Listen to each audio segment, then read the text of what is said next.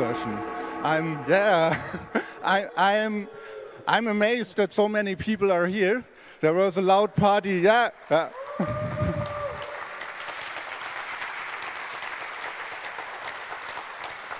There, there, was a lot of partying going on at night, and uh, so the room filled up quite well. Maybe other people will come in. We have a three hour marathon session. This is the longest Lightning Talk session we ever had, I think.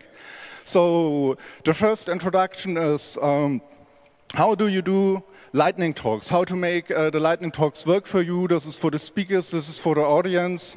So, how do we make the lightning talks work for you? work for us as the organizers and of course for everyone out there on the streaming devices and so on.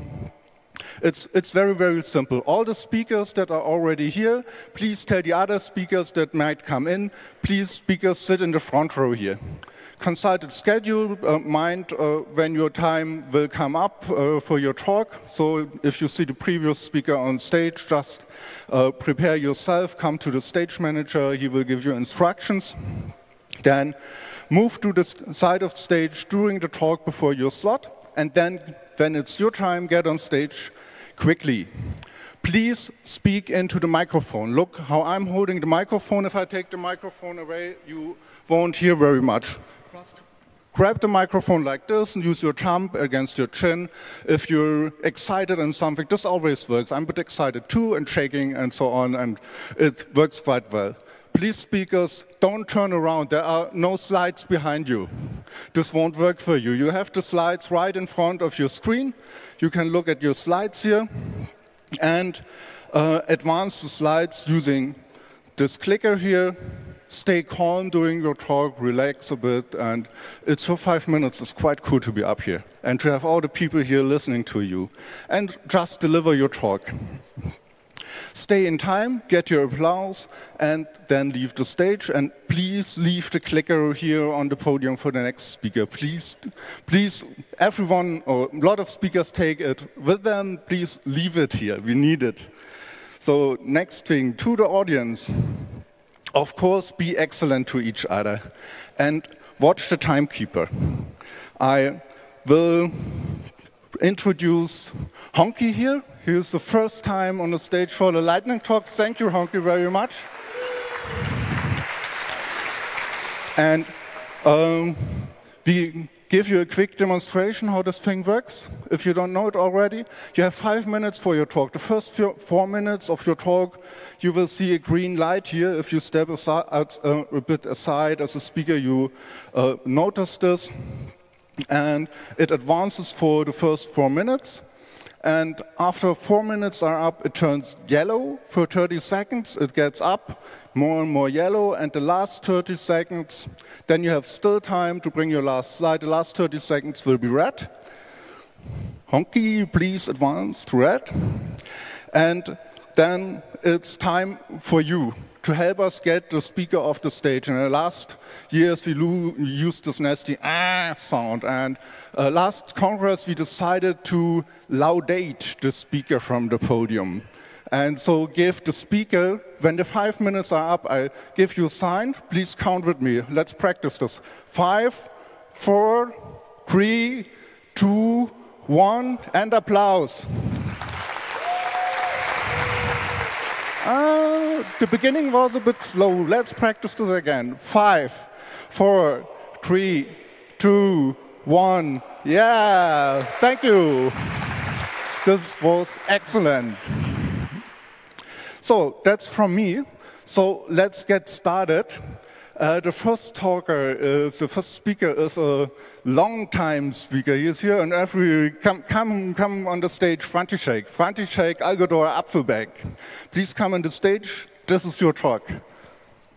This way? Whatever you prefer. Okay. Pa, pa, pam. Okay. So, hello everyone. Uh, thank you for the uh, opening uh, talk. I have been told that I'm supposed to be completely natural. Uh, the first one was about uh, what to do and how to do it well. Uh, this one is supposed to be what to not to do. And just a random topic, it's a food hacking base. Uh, I am with food hacking base for nine years. we are people who like uh, playing with the food, drinks, fermentation, beyond. We are here on the camp, so you can come and visit us. Um, this year, basically, uh, we have done several events already. If you have been at the Ghent at the Newline, we have been there for a bit. We have done big event in Czech Republic, which is called Kvass, uh, growing uh, specialized in fermentation. Uh, that one I was involved especially. Uh, this year we do the camp here, so you can find us on the campground. We will talk in a second slide about that. And we hope to be, of course, also in Leipzig, and preferably inside if possible. So, uh, let's come to the camp uh, because that's now on, so it's the most hot. When I have seen the 30 degrees on Saturday, Sunday, it's going to be very interesting, especially for the teardown. Uh, we are in the sector R8, if everybody knows on the map. Uh, you can find us easily by the smell, by the lights and the sign. We are going to have again experimental kitchen, two workshop venues, and uh, loads of activities. Uh, you can come, for example, tonight for cider tasting uh, if you have booked in already. There will be grappa tasting, which is unofficially and nice. And otherwise, we'll do different workshops like kombucha making. Uh, there will be sessions probably for the bread making and other stuff. So we are open. You can come, can play. Uh, you can use our kitchen. It's fine. Uh, we have also some new things this year uh, on the campground. Uh, we have finally, for the first time, a cooling trailer, which makes our life a much, much easier thing, and also for the villages around because they can cold things, which really helps. Plus, we have a bar, so you can come and you can have some ciders and Czech beer on the tap. Uh, do not hesitate, we will be there. So that would be kind of, you know, the four here. Uh, of course, there will be probiotic drinks because you need to rehydrate yourself also without alcohol. So we have a few hundred liters of those. And um, just pop in. We are there. It's going to be fun. Actually, it's fun already. Now, uh, autumn, what we are going to do, like, you know, in the next few months. I will be personally doing cider season, so I'll be doing more cider, which you should be some of it uh, able to taste the last season at the CCC Congress. Of course, we will be at the Congress. Uh, at least we will try to be as close as possible as we did before, uh, hopefully in the main venue. Uh, now, uh, we are also taking care about the logistics because it's starting to be a bit uh, more demanding with the stuff uh, like, you know, uh, let's say being more specialized and getting better equipment and more of it. So we are now uh, getting our storage right and kind of improving the driving licenses and trailers and playing every event like with one ton of stuff going in and out eight times. It's a lot of fun. Basically, if I can say one thing, the lock engines here are my personal heroes, you know, every day more, sorry, every year more and more. So, you know, progressing on the stuff, we are getting, I think, more and more, I would say, semi-professional. You know, we can come and check. We have even running water and it's warm, you know, for washing the dishes, you know. There's even a hand soap this time. So, you know, getting there slowly and steadily. Uh, I would like to therefore once more invite you to come in, uh, see what we are doing, and maybe in the last like you know minute or so, uh, we can like you know mention other activities. Uh, there is of course you know things like you know today for example we make a syrups non-alcoholic, completely fun. I have actually exercise in the morning with uh, picking up around 20 kilos of Mirabelle uh, at uh, 7 o'clock. Uh, there will be other stuff, you know, like of course we'll have one more cheese tasting. Uh, otherwise, come if you are interested in something talk to us. We have still slots, you know, on the list which are free. And what we are actually really trying to do is to be as open as possible so you can come and do something what is related to the food, drinks, or bio and do it in the place. So you can do your workshops, of course, you taste your tasting events. If you are not prepared for this time, let us know, come now, and we can prepare for the Congress. Let us know in advance, you know, in the worst case, come just a bit in advance. We have slots, and, you know, like, more use it is, better it comes, okay? So, thank you very much for everything, uh, for your attention, and I hope to see you very soon at Food Hacking Base. Bye.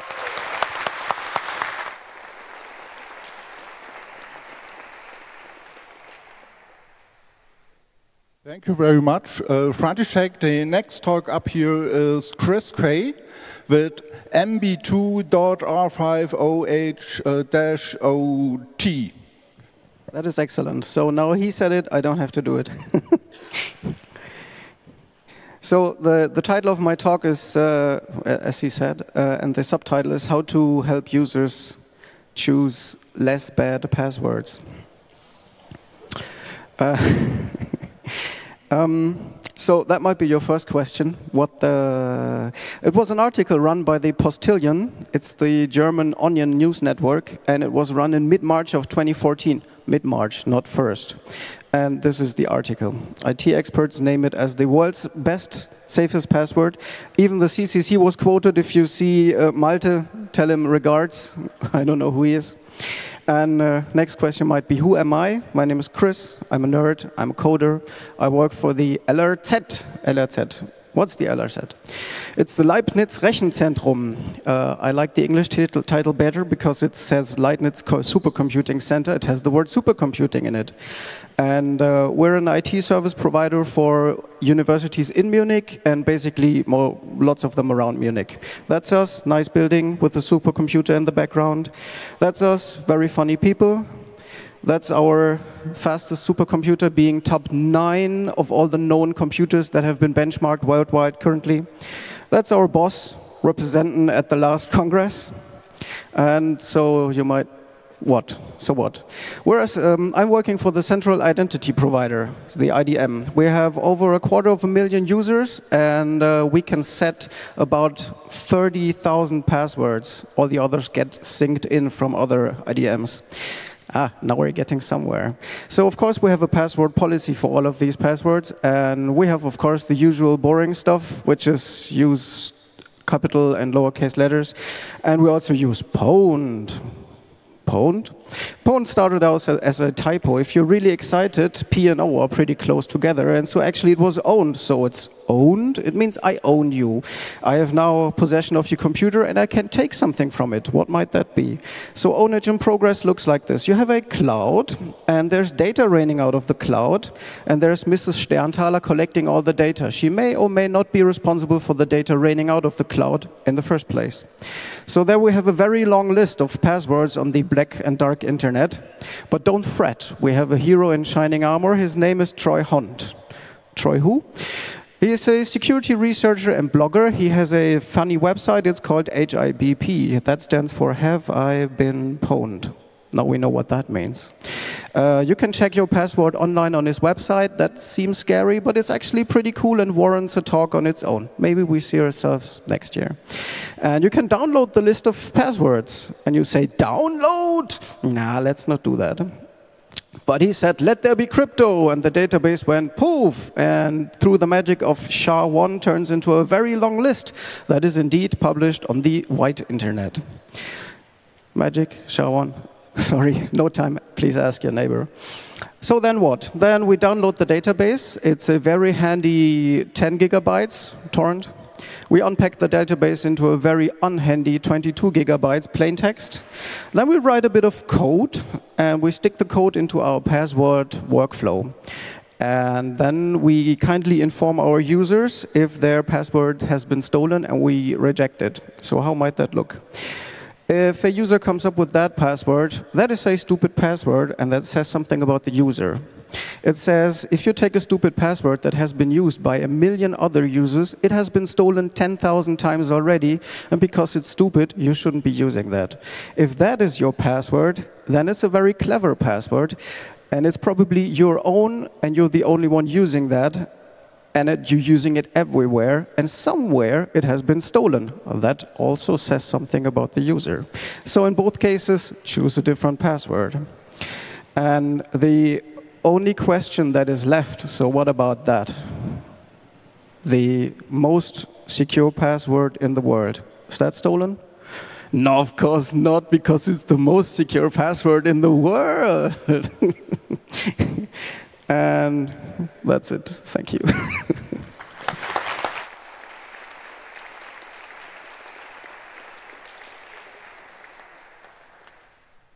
Thank you for your talk. Um, the next talk is going to be uh, about digital analog TV. Thank you again for all the translation angels and subtitling, uh, subtitling, uh, subtitling angels. Thank you.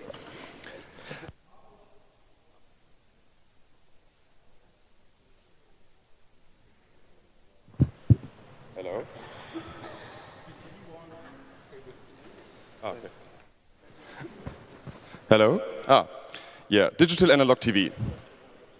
Timer. Uh, four years ago, um, we were given this cool radio badge at, at camp, and this opened the path to SDR and signal processing for me. And like one year later, uh, the Chaos Computer Club was celebrating its birthday, and someone did an art installation with a bunch of TVs in our hackerspace. And at some point, I thought, how do I get a picture from my computer onto this TV? And the name of the game is PAL. PAL is short for phase alternating line. These are some specs, like the resolution, the frame rate. PAL is interlaced, um, which makes the frame rate effectively only 25 frames per second. There are some frequency bands we can use, and there's a chroma subcarrier. What this is, I will tell you later. Basically, PAL, you could say, is a way or a standard of analog encodation or analog encoding for video information. Uh, PAL comes out of this cable. This cable is very closely related to this cable. This you may know from your video consoles. And the difference between this cable and this cable is that the signal on the white cable is modulated, which means that it's just multiplied with the carrier frequency. So um, how, does get, how does a picture get onto the TV screen? And every old TV screen is a so-called cathode ray tube. You have a big, long vacuum tube with a fluorescent screen and electron beam shooting onto the screen, generating a spot. The brightness of the spot is regulated by the amount of electrons you shoot. So by varying the current of this electron beam, you can change the brightness. And by scanning the beam across the screen, you can make lines, and by doing multiple lines, you can get an image. It's called um, scan lining, and it's what all old TVs did. So what our signal has to um, carry is the brightness information of the spot. This, of course, only is for black and white, but we will come to color later. Also, the signal carries uh, uh, synchronization pulses. You need to know when to start the next line. It's like in VGA. But in this case, we do it in band. So the signal carrying the information and the signal carrying the synchronization uh, share the same medium. Um, here's the specifications of how these sync pulses should look. Also, there's so-called um, train pulses for horizontal sync. So you need also need to know when to start the next frame. So there are special um, pulses telling the TV when to start the next frame. Here, for example, is one scan line or one line of the picture you see on the top left. It shows that it's going brighter and brighter and brighter from left to right in between two sync pulses. Okay, but how does color get into this? Um, for this, we need to do some math. As you may know, white is red plus green plus blue. This is because our eyes are built that way to receive red, green, and blue light. Most all, all, all screens are red, green, and blue. We can change this formula and say white is red plus blue. Uh, white is green is white minus red plus blue. Why do we need that? The thing is we are already transmitting the white information. We are already transmitting the black and white information. And the thing is that colored television is backward compatible to black and white television. And they said, okay, we are already transmitting white. If we also transmit green and red and blue, that's redundant. Let's get rid of green, only transmit red and blue and white, and calculate green afterwards. Um, there's also some fancy names for that. The color information is called chroma, the brightness information is called luma, and you may have seen these characters YCBCR or YUV. That's the formula names for these values. This is the most complicated math. Um, as I said, there's a color subcarrier, and what they do is they take the chroma information and they multiply it with a sine wave of that frequency. And so what you get in the end is the brightness information mixed in with the color information.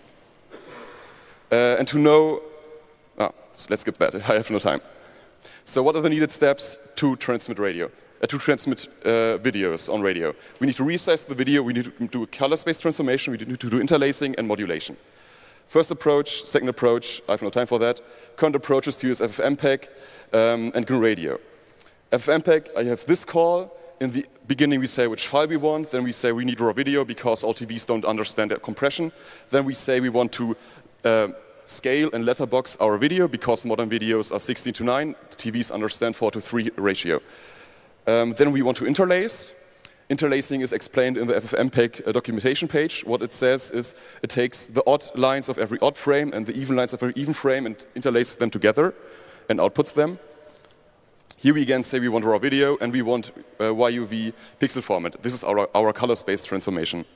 Here we say that we want 25 frames, per second or 50 frames per second interlaced, and this just pipes it into our program.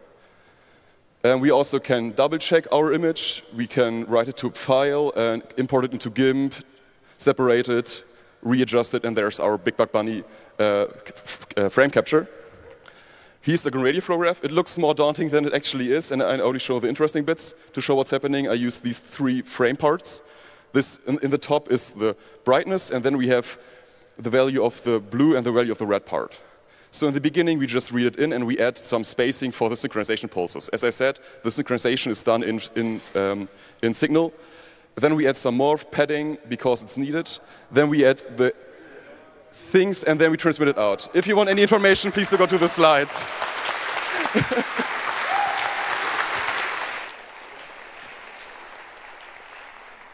Take the microphone with you. And thank you very much. Those were really, really a lot of slides. The next talk is in German from uh, so, Felix D. vom Felix D. Äh, eine Wende für flexible Verkehrssysteme.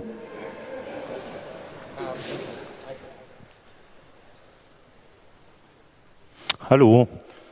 Uh, ich freue mich hier sein zu dürfen. I challenge the Signal Angels. If you don't speak German and you're interested in the talk and the topic, please approach me afterwards. Eine Wende für flexible Verkehrssysteme. Ähm, es geht darum, dass sich einiges ändert. Wir reden viel über E-Mobilität, aber in Wirklichkeit passiert was ganz anderes. Ähm, es gibt ähm, ÖPNV-Lösungen, ähm, Karten und so weiter in Europa, in Deutschland relativ viel, aber ansonsten auf der Welt sieht es noch sehr anders aus. Wir haben, ich würde sagen, über die Hälfte der Welt hat keine Daten von ihren Verkehrssystemen, vor allem in Afrika, Lateinamerika und großen Teilen Asiens. Und das ändert sich im Moment. Und die Frage ist, wie sich das ändert, weil die Verkehrssysteme natürlich ähm, weniger formell sind, nicht unbedingt einen, ähm, einen klaren Zeitablauf ähm, haben, einen Sketcher, einen, ähm, einen Fahrplan, wie wir das gewöhnt sind, hier zumindest. Ähm, das heißt, wir brauchen neue Ansätze. OpenStreetMap ist cool. OpenStreetMap kennt wahrscheinlich jeder. Das ist die Wikipedia der Karten. Man kann editieren und dann dreht sich das Ganze um. Man hat einen Editor und jeder kann mitmachen. Ähm, viele machen mit. Ähm, dadurch gibt es sehr viele Daten. Es gibt viele Leute, die ähm, aktiv an dem Projekt mitarbeiten und auch ÖPNV-Daten aufnehmen. Ähm, und vor allem im globalen Süden. Das können Leute selber machen, das machen Städte teilweise, das machen ähm, verschiedenste Arten von NGOs, ganz viel äh, diverser, als wir das vielleicht ähm, hier gewöhnt waren.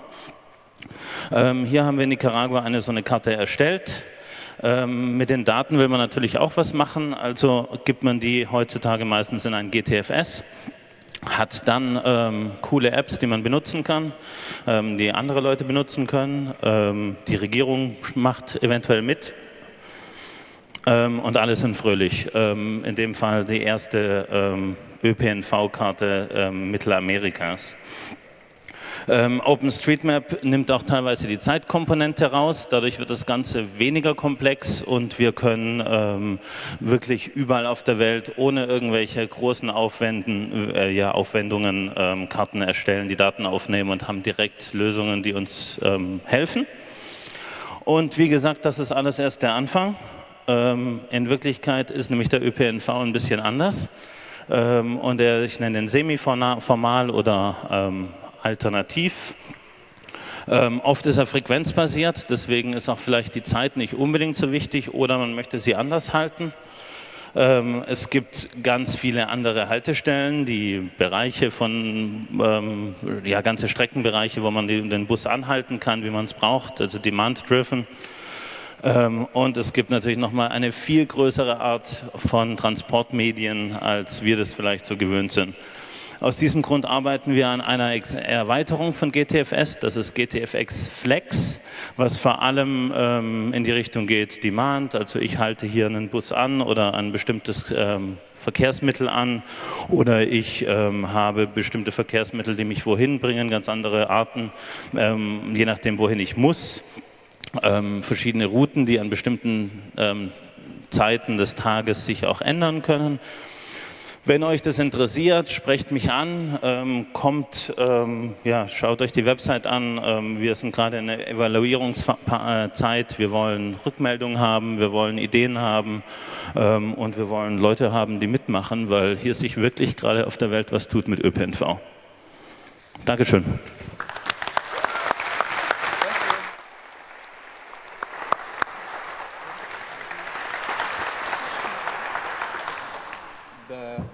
Next talk, do you hear me? The next talk is going about to be uh, do-it-yourself brain hacking to see in 3D, which is a bit interesting to hear. I'm a bit afraid, but we will see. Thank you, Ben Senior, for entering this talk. Thank you. Hi, uh, I'm Ben. Oh, where's the clicker? There's the clicker. So actually, last year I gave a talk at Christmas uh, about hacking how we see, about Eyeskills, which is was demonstrating how you can use virtual reality environments uh, if you have lazy eye to straighten up your eyes and see in 3D. And this project has continued and it's become more and more complex and larger and larger. And now it's composed of these five sub-projects. And it's become clear that we need a dedicated lead for each of these. So I'd like to tell you something about them because perhaps some of those leads are sitting here in the audience. The first part is about personal experience. To literally see what is possible with your own eyes, despite what your eye doctor might have told you. So this is a take-home app, sort of 10 minutes a day of training. And by the end, you should be far enough that you have the vocabulary and the knowledge to be able to speak to your doctor on an Augenhöhe. The second part you know, words are good, but data is better. We need to be able to objectively see what's happening to the eyes so we can understand which techniques work best for who. And to do this, we've created a open source, open hardware eye tracking headset, which folds up and fits inside a Google Cardboard second generation for a handful of dollars rather than hundreds of dollars. So this gives us access to some really useful information, but it's no good unless we can get it into the hands of lots and lots of people, which requires manufacturing. And how can you manufacture something locally and affordably? Well, this is my primitive little prototyping setup with a cheap laser cutter, 3D printer, and an inkjet. And what I would really like is a fireproof cabinet with these things stacked vertically and much better automation so that an, entre- an you know, enterprising entrepreneur anywhere in the world can take this blueprint, create this from the design, and just go to clone it with demand. So at that point, perhaps you're reaching lots and lots and lots of people.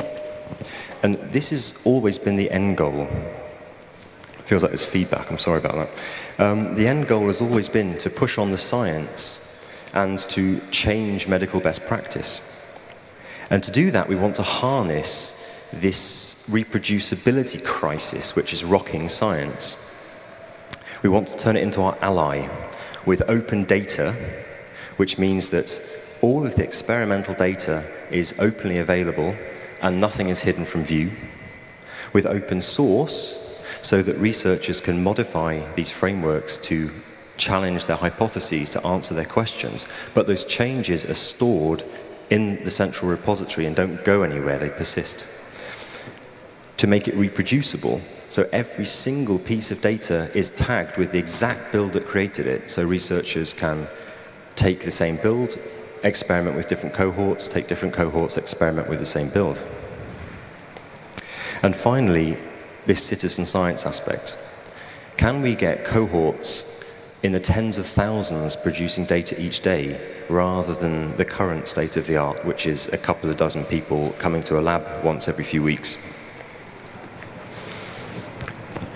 So obviously this is quite ambitious and it's going to take quite a lot of money, but closer to you. Closer. Okay, I was trying not to make it so loud. Um, yeah, we have sources of ethical funding that we've identified, and we're quite far along. But that's another whole project in its own right. So here I'm really looking for somebody who is an excellent communicator uh, somebody who can deal with individual investors, institutional investors, and things like crowdfunding. So finally, this affects a lot of people around the world. There's about 400 million people out there right now. And this is an interesting opportunity to build an open business, one that's really doing something worthwhile. My passion is not building businesses. So if there's anybody out here who with a proven record in building businesses and you're not greedy and you want to do something worthwhile, I would also love to talk to you. So if this has interested you and you'd like to learn more, then please come to the workshop tomorrow in Goldberg.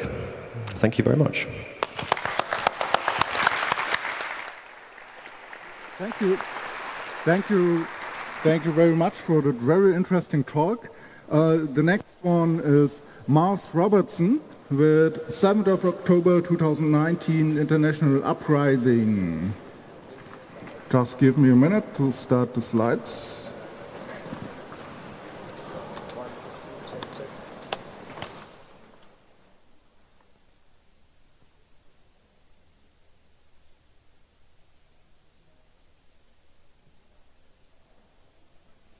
Check.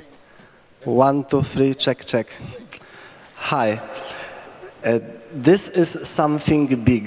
This is something much bigger than myself. And it is completely not about me. It is about the international uprising, movement of movement, extinction rebellion.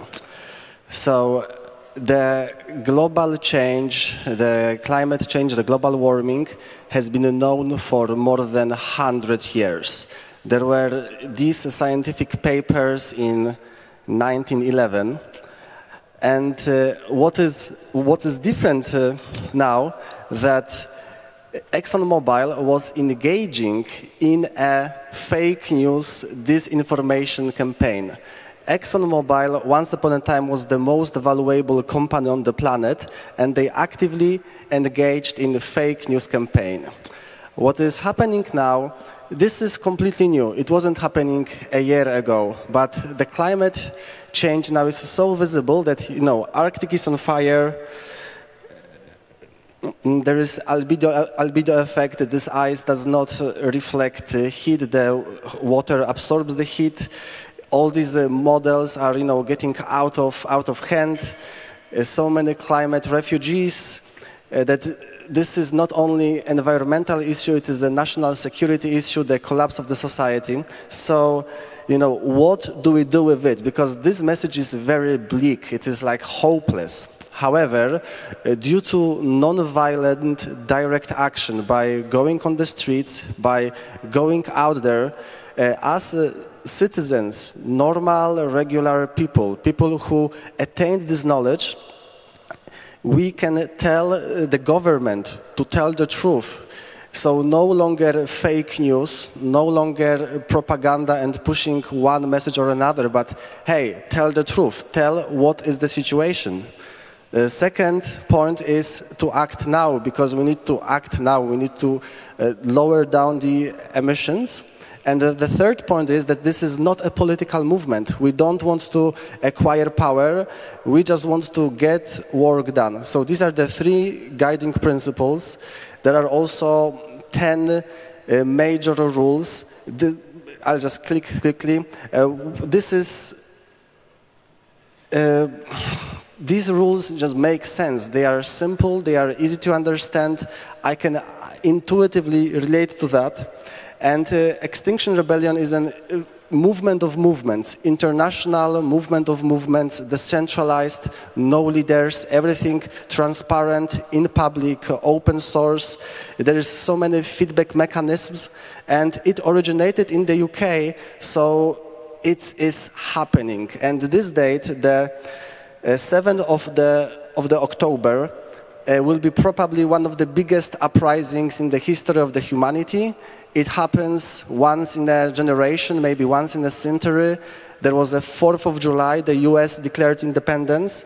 And uh, I think that it is possible that we will protest as long as necessary, that we will just go on the streets. We will build this type of camp, but not in the, uh, you know, Granze, Ziegel Park, but we will go to the major square of London, Parliament Square, and we will build the camp, and we will do this as long as necessary.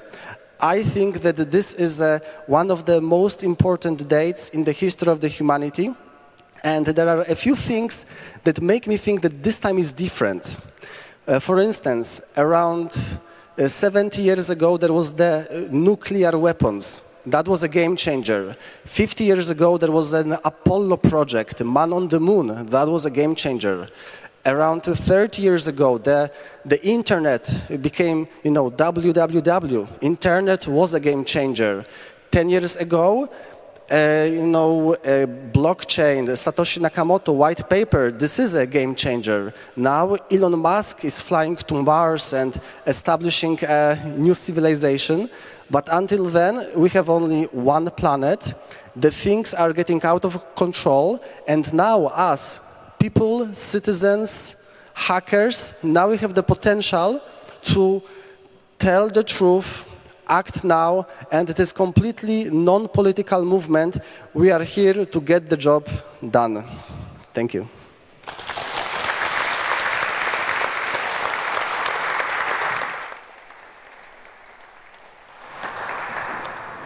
The next talk, the next talk is going to be from Michael Stapelberg about Distri, a Linux distribution to research fast packet management. Hello, everyone. Okay, so my name is Michael Stapelberg. Uh, you can reach out to me on Twitter if you'd like to discuss any more of this. My observation is very simple. Whenever I install a package in any of the bigger Linux distributions, it takes a really long time. And if you pay attention to the slide, uh, you can see that even for installing like a couple of kilobytes of Perl script, I need to transfer like 100 megabytes of data and wait 25 seconds. And this comes out at a data rate of just like 3 megabytes per second. And this astonishes me, given that my computer is easily capable of processing many gigabytes per second. So where does this discrepancy come from, and can we do any better? So in the distri Linux distribution, you can install that same package that you just saw on the slide before in just 0.1 second. And even for larger packages, such as the QEMU package, which comes in at like 500 megabytes, uh, you can see that the installation rate is 100 megabytes per second, maxing out the gigabit link that I was using here, and it takes only 4.5 seconds to install QEMU. So how can this distribution be so much faster than all of the established distributions? The first key idea is that we use images as the package format instead of archives. So instead of having like a tarball or a CPIO archive or anything like that, we use an image format such as SquashFS or CD images. It doesn't really matter as long as you use an image format. The big advantage of using an image format instead of an archive format is that you don't need to do any unpacking. So you don't need to first load something onto your hard disk, verify the signature, and then extract it again. You can just immediately mount it after you have downloaded it. And it turns out that downloading a file from the internet is a thing that we're really good at now. Like we can do it maxing out even fast links. I have in fact tested this with a 100 gigabit network card, and I can achieve package installation speeds of 12 gigabytes per second.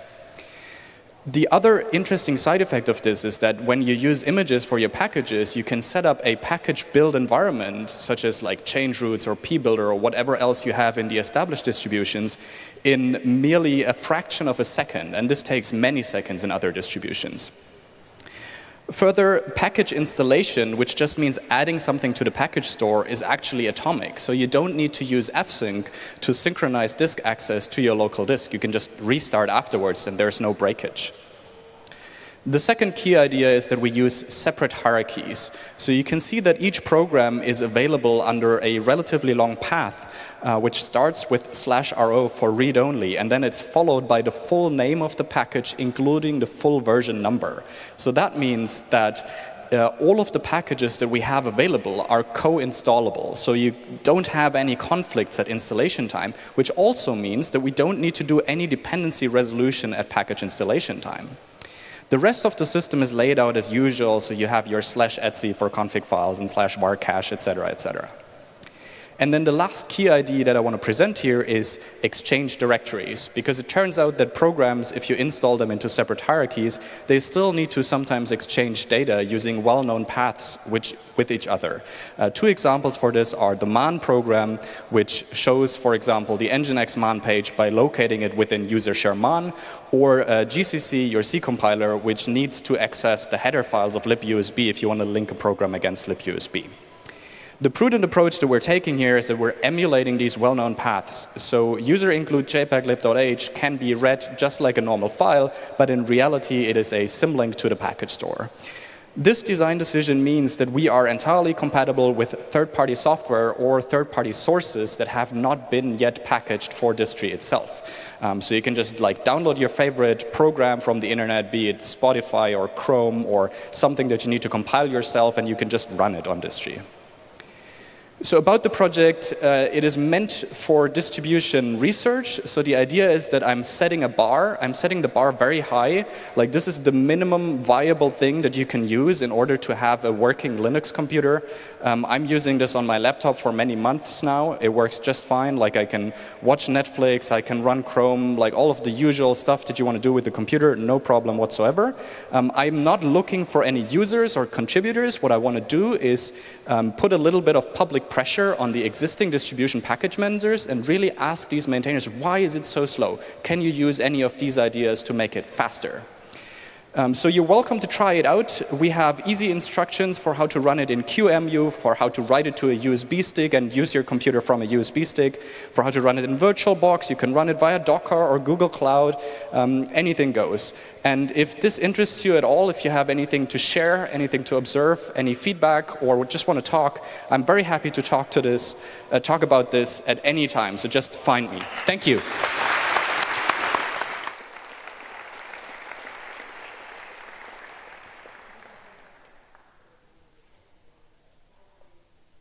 In German as well. And uh, the next talk will be in German. It's from Bettina, 25 Jahre Internet für alle und dann der Ping e.V. Just give me a minute. Yeah, hi. Just like uh, you said, it's in German, but if you want to learn more, you can talk to us in English later. We're more of a local interest.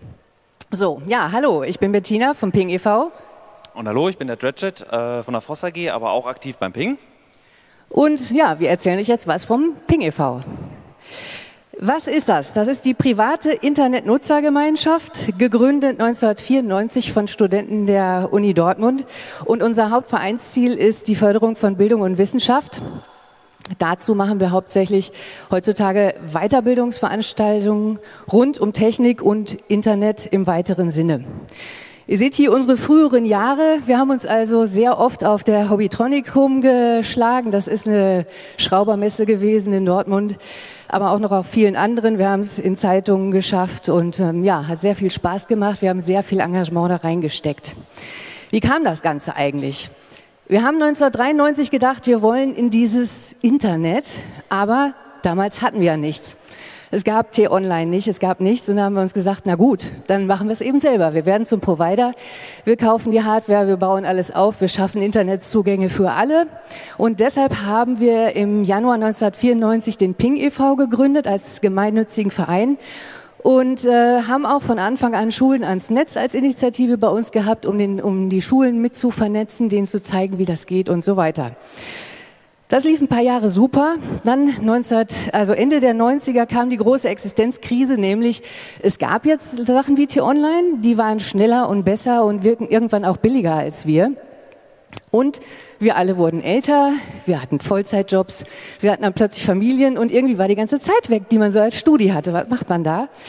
Ähm, ja, wir haben uns gesagt, gut, wir machen jetzt mehr auf Weiterbildung, weniger als Provider, um die Leute zu interessieren und auch Leute außerhalb des Vereins. Und irgendwann haben wir beschlossen, ja gut, unsere Einwahlleitung braucht kein Mensch mehr. Wir schalten die endgültig ab und ähm, wir machen jetzt nur noch Weiterbildung und andere Aktivitäten, wie ihr hier später noch ein bisschen sehen werdet.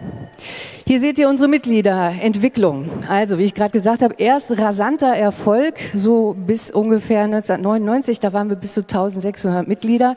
Und genauso schnell ging es dann auch wieder bergab, als die Leute, die uns nur als Provider genutzt haben, gemerkt haben, oh, gibt's ja woanders besser.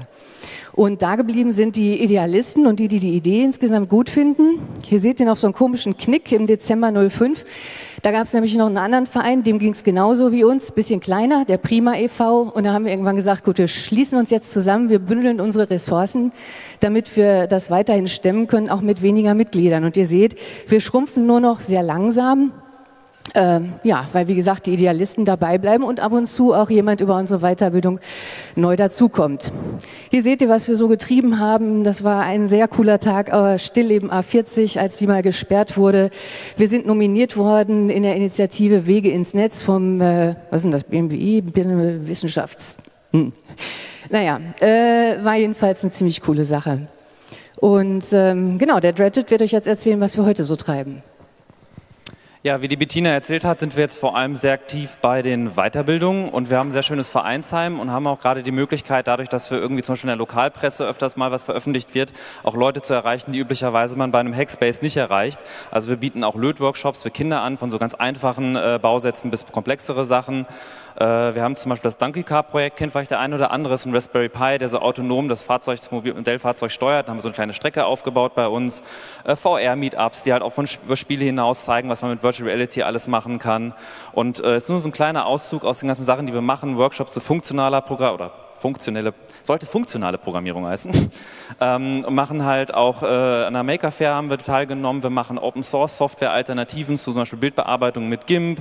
Äh, wir haben auch, gerade wenn wir ein paar Senioren erreichen, bieten wir auch spezielle Vorträge ein für die Sicherheit im Internet, Browsernutzung, Handy absichern. Äh, dann zusammen mit der Voss AG gibt es auch so Nerdabende, wo wir uns zusammensetzen, irgendwie zusammen was kochen, snacken und irgendwelche äh, äh, schwierigeren Themen machen und sind da noch sehr aktiv. Und jetzt seht ihr noch ein paar Bilder von unserem Serverschrank und das ist noch die Truppe von früher, wie sie sehr aktiv war. Äh, aber wie ihr jetzt gesehen habt bei den Mitgliederzahlen, die schrumpfen so mit der Zeit und deswegen sind wir auch hier, um quasi zu äh, hoffen, dass wir noch den einen oder anderen begeistern können, der aus der Ruhrgegend kommt, aus Bochum, Dortmund oder der Ecke und Lust hätte vielleicht bei uns mitzumachen. Genau, und äh, ihr findet uns in der Nähe der Uni Dortmund immer noch in Eichlinghofen. Wir haben ein wunderschönes Vereinsheim, äh, das gefüllt werden will mit wieder ganz viel Leben. Und äh, wenn ihr Lust habt mitzumachen oder wenn ihr vielleicht selber einen Verein oder eine Initiative habt und euch mit uns austauschen wollt, Ressourcen bündeln, was auch immer, meldet euch, quatscht uns an. Danke.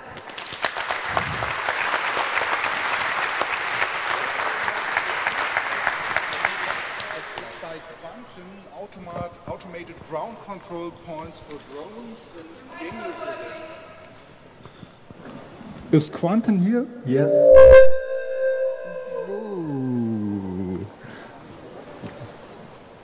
Hello? Hello, yes, I'm Quanten, and um, together with Andreas Hornig, we did a project, or we prepared it. We did automatic ground control points for photogrammetry.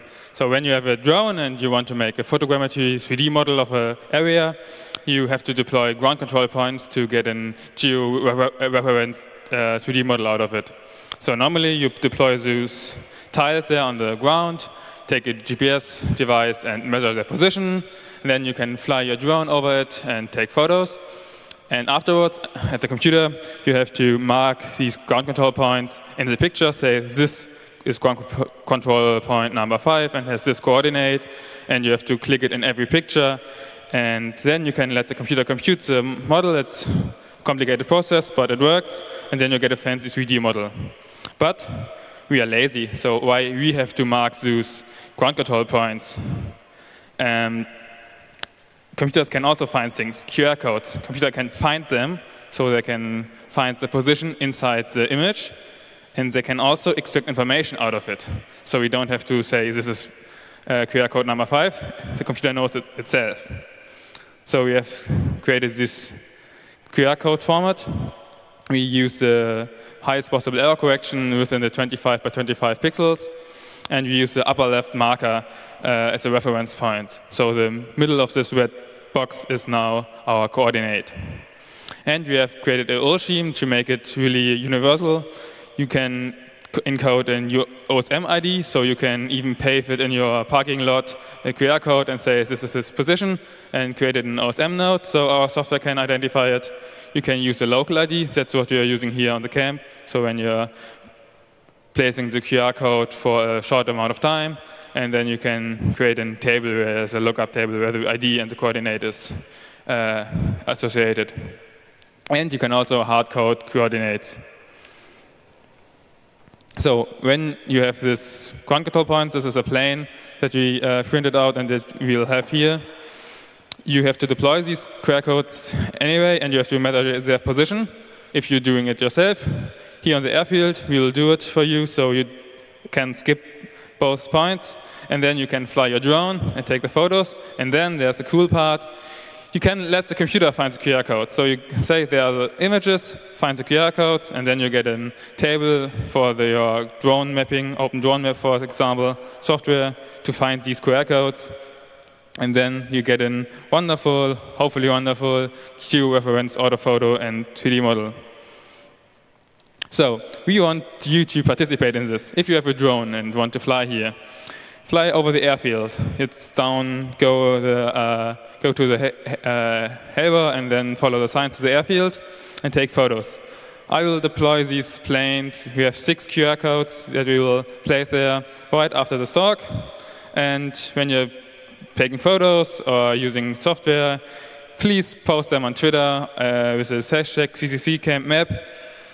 We still have some things that we have to uh, implement in our software. So if you want to code some Python, have a look at our issue tracker or come around and we can code together. If you're interested in any of these topics, if you're interested in drones, in imagery, in photogrammetry, just also come around and talk. You can find me at Chaos Um, Andreas Hornig is not on the camp, but you can contact him on Twitter, also me. I have a DECT number, so also an email address. And we have the wonderful domain osm.to where you can find the links to our um, to our project page. We have a camp wiki page, and we have also a Twitter account where I will announce when the QR codes are laid down and measured out. One last thing, maybe. Uh, I also doing a project about high precision GPS that I will also use to measure in these uh, QR codes. So if you're interested in high precision GPS, real-time kinematics, you can also come around and we meet up. Thanks. Thank you. Thank you, Quantum, for, for the cool talk. For the next talk, uh, Unified Alpha by Pippin. Brace yourself for some heavy formulas. Is Pippin around here? Yeah. Welcome to the stage.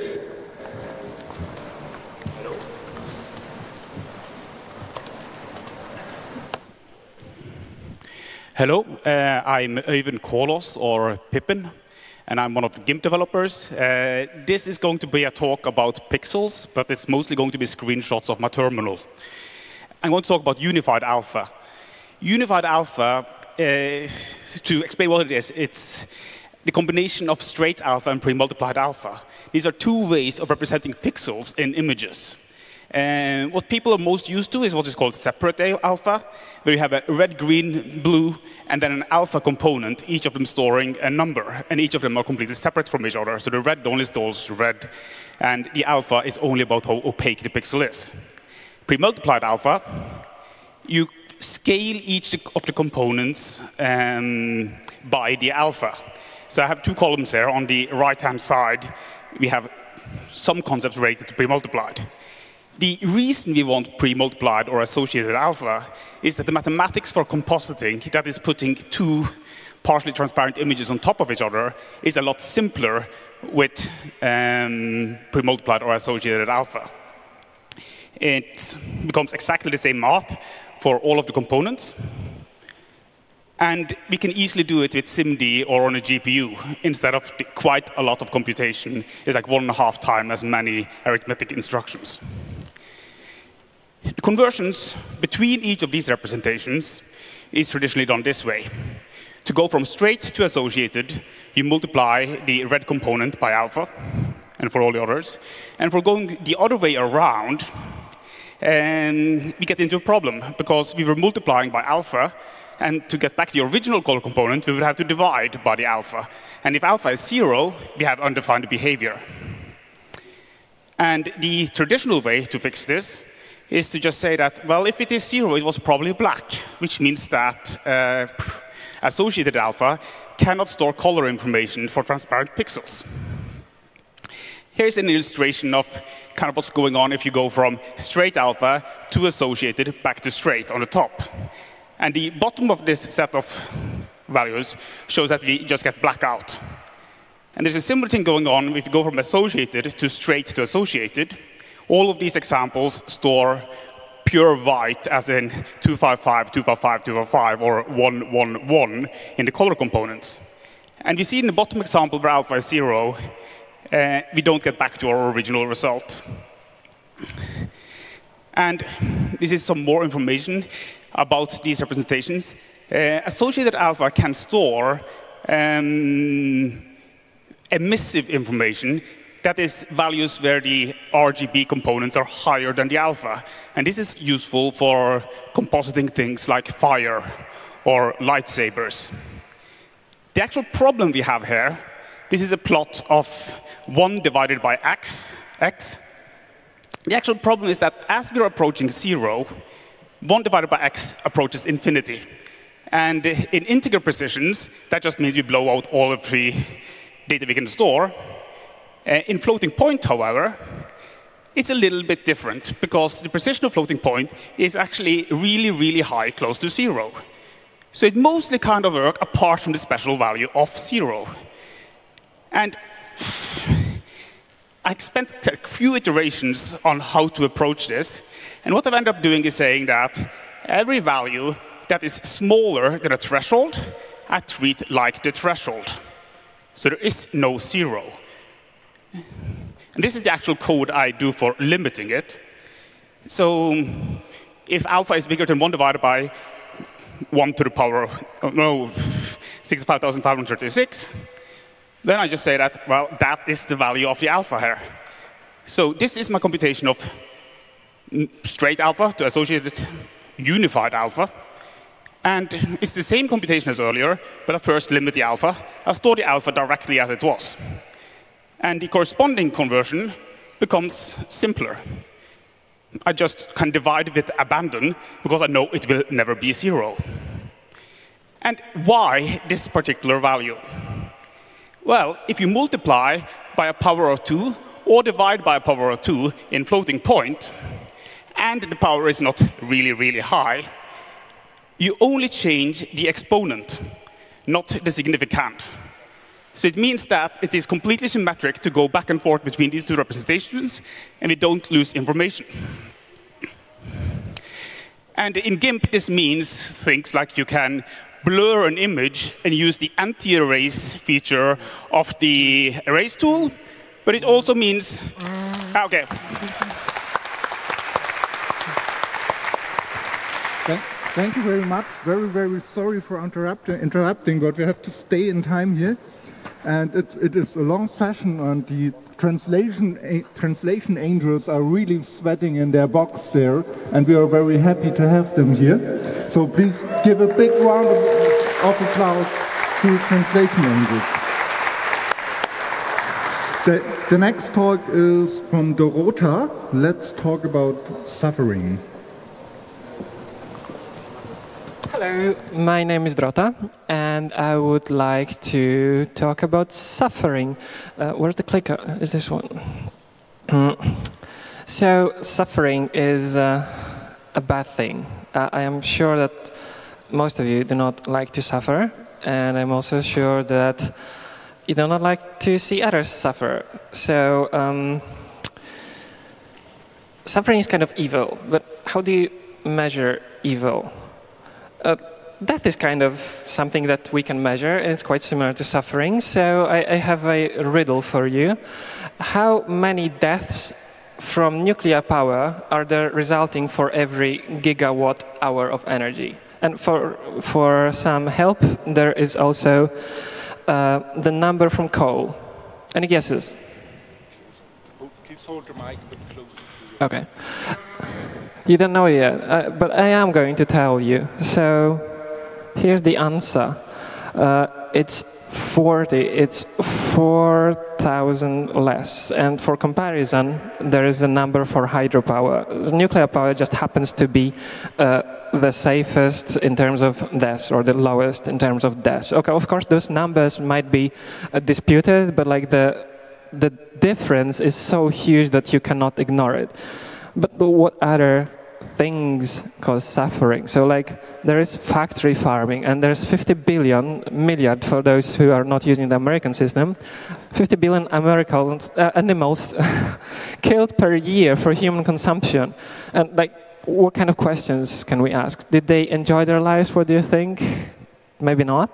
How can we actually find it out? Or is it even something that we should worry about? There are other things that we could worry about, like artificial general intelligence. Uh, I wouldn't like for a paperclip maximizer to turn all the world into paperclips or global warming. We had a talk about this already. Bioweapons, global poverty, those are things related to suffering.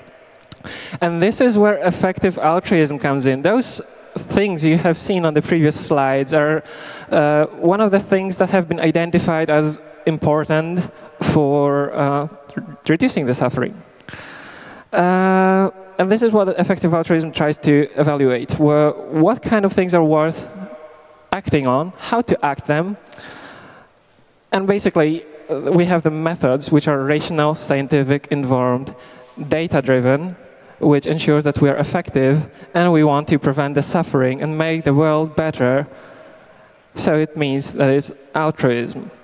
Uh, and if you do not like to see others to suffer, then you are also an altruist. You can learn more about this uh, on the Effective Altruism website or 80,000hours.org. There's no really centralized place to learn about it. This is like more of a loose community of people who have the similar values.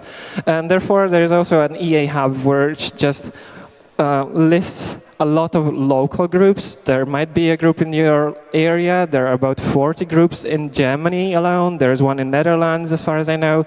There's one in Finland.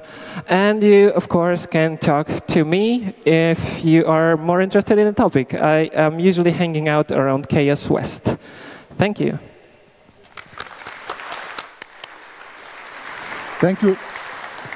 Thank you very much uh, for your talk. Please, all speakers, uh, try to hold the microphone just like this. Hold, hold it in your right hand, and this, this is about the right distance with your thumb. Thank you very much.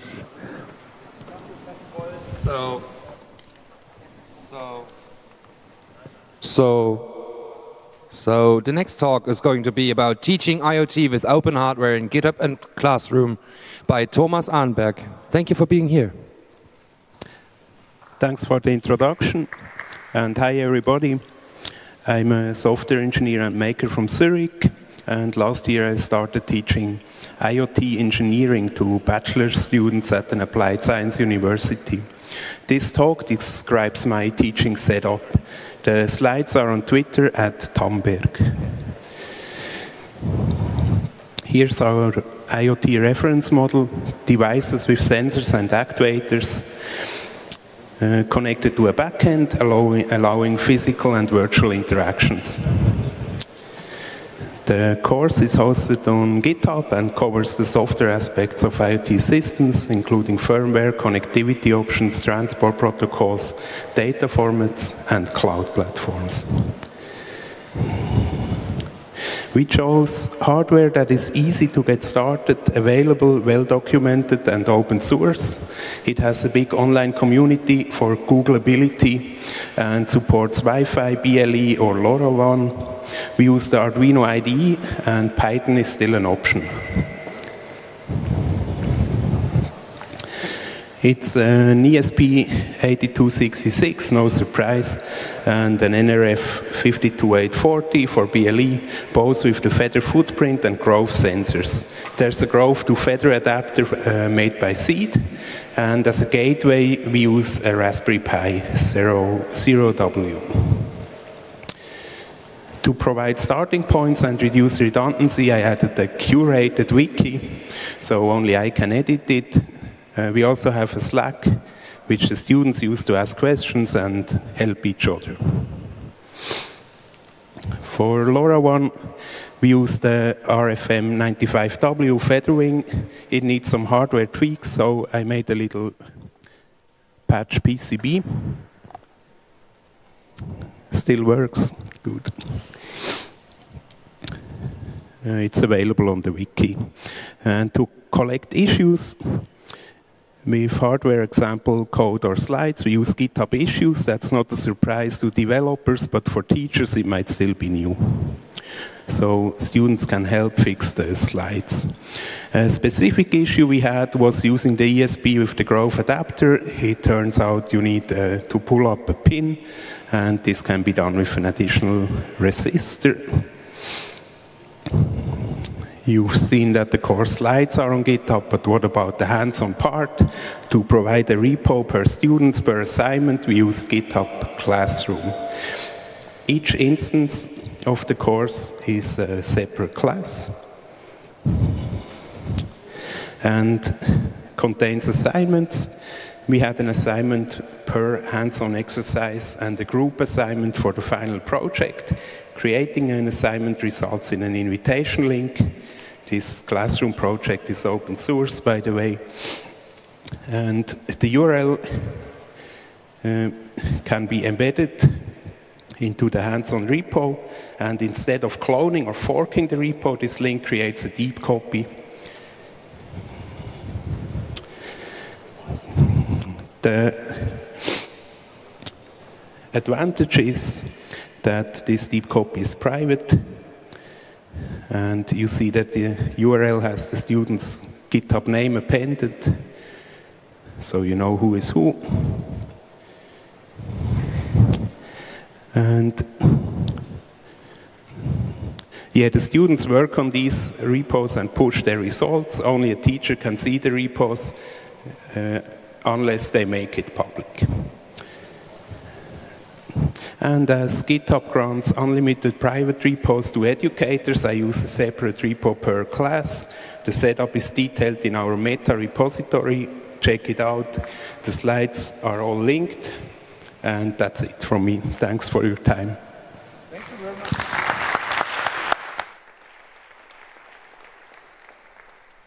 Interesting talk. And all speakers, it's quite normal to be nervous when you're up here. It's just relax, it's your time. Take your time. And the next one is uh, Mario Behling. And uh, is talking about Susi AI. Hello. I'm actually not Mario Behling. My name is Michael Christen. We wanted to do this talk together, but now I'm doing it alone. So uh, I'm talking today about the nerd stream. Um, the nerd stream is talking to a computer and the computer will not only answer but maybe also solve a problem for you. And uh, actually there are now a lot of devices which uh, do something which uh, looks similar uh, like this. Uh, they are commercial applications and they are um, meanwhile in many households. Uh, but there's no real completely open source personal assistant which can fulfill the same expectations as these devices. So that's what I'm talking about today. And because these devices are not only a nerd stream, it's also now uh, going to saturate the, um, the, families all over the world. We should do something about the privacy uh, problem with these devices uh, because it happens that exactly the nerds which had this stream in the beginning are not adopting the idea because they want to have a device which is which is private and keeps your privacy and uh, doesn't talk to a cloud. So that's what we are doing.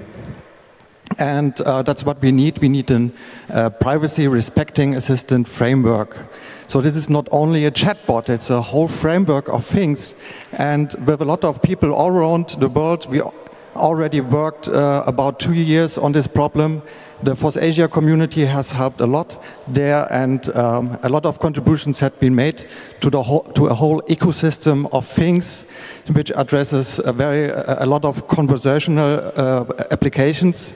So um, uh, the, this is such a big uh, task to do that we want to do to solve this problem not only with algorithms but also with a large community. And therefore, I am addressing you all in this talk to participate in this approach.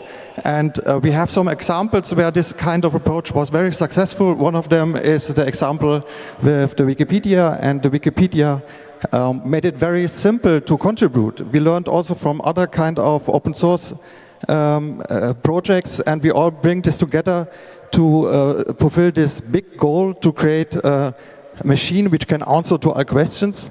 And our advantage is that a lot of uh, dynamic web pages are now providing JSON interfaces, which we can just uh, take and take information out of a lot of web pages to make skills out of it. So that's our approach.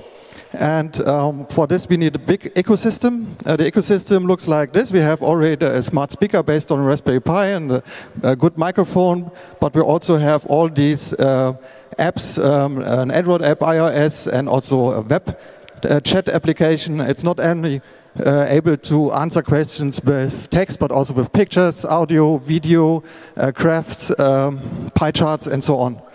So um, what we did, what we did is a big repository where you can put in skills, and we made it easy to make the skills. So if you go to Susi AI, you see this repository. You can learn by example. Click on any of these examples, and then you see how the skill language works. So with the skill language, we uh, we doing something similar like Wikicode. So if you want to create a web page in the past, it, you had to learn HTML, but with the Wikipedia, it was easy to make it with Wikicode. So our code is the language of thought, and if you click on that small i on the top right corner, you get an explanation what kind of syntax you should use.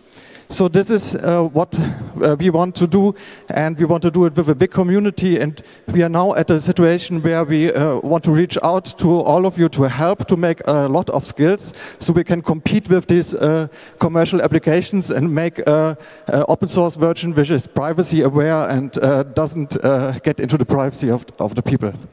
So um, we have a workshop tomorrow at 4 o'clock. Please come to the Hack Center where we teach you how to uh, make skills. And uh, please go to Susi AI and uh, just click around. It's a fun thing to do. Thank you.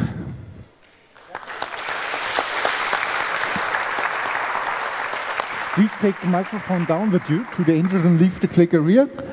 The next talk is Badge Magic.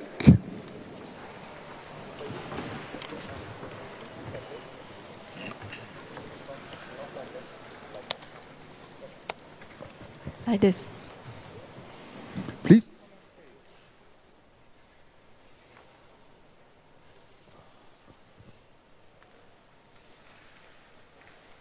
Should I start? Hello everyone, my name is uh, Hong Phúc Dang or HP Dang if you want to find me online. So I'm going to talk about this um, name tag that I'm wearing right now. We call it Badge Magic.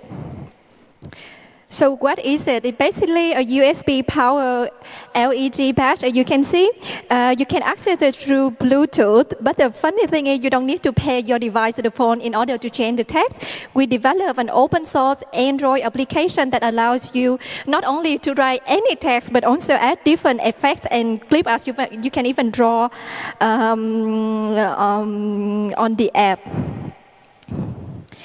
So um, just a little bit background of the project. Uh, we found this device in the electronic market in Shenzhen, China. If any one of you have been there, there are all kind of uh, gadgets that you can find. And uh, the badge came together with a very simple Android application and also iOS. It looked basically like this, what you see um, on the screen. Uh, it's not so nice and it's also closed source. There are also very limited text and effects that you can do and there's a mix between different languages. Uh, our community, we want to um, um, to, um, to build something different. We want to make a cooler app, but again, the, the source code is not open. So um, some of the developers in Asia try to look into it mm, as we, we plan to build something new that can um, send different messages and send different effects um, to the device.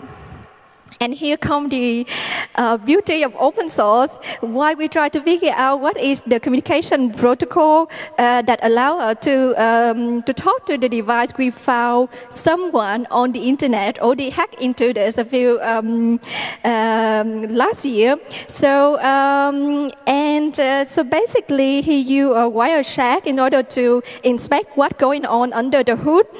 And this person was so kind to publish all his findings online. I don't know if he's here today, but if um, Gao Ye, Marshalling, if you are here, thank you very much for your work.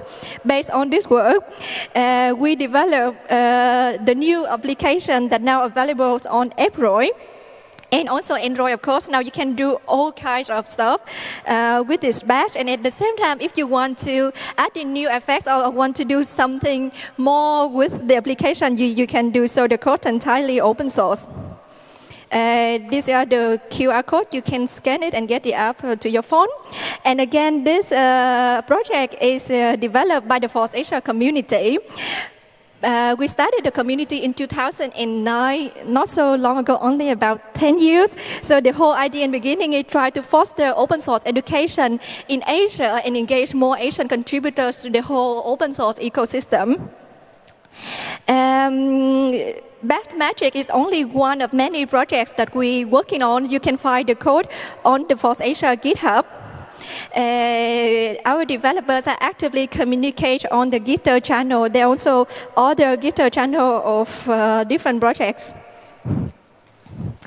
Uh, so the thing that I want to emphasize here is not only the app that we're so proud of, it's not the product, but the journey, how we come up with this uh, whole thing. And then uh, this project allow a lot of young people to get engaged and work on open source technology. So we introduced this to the school and a lot of students got excited and want to learn more, okay, how they can try Android application, how they can contribute to the community. And this is the way we want to go. So what next? Now we have the Android app. Uh, we're working on the iOS as well, and we want to add more device into Badge Magic. We are still working on open up the hardware of this badge and create our own open uh, firmware, and hopefully to be released in the, cup, the upcoming months.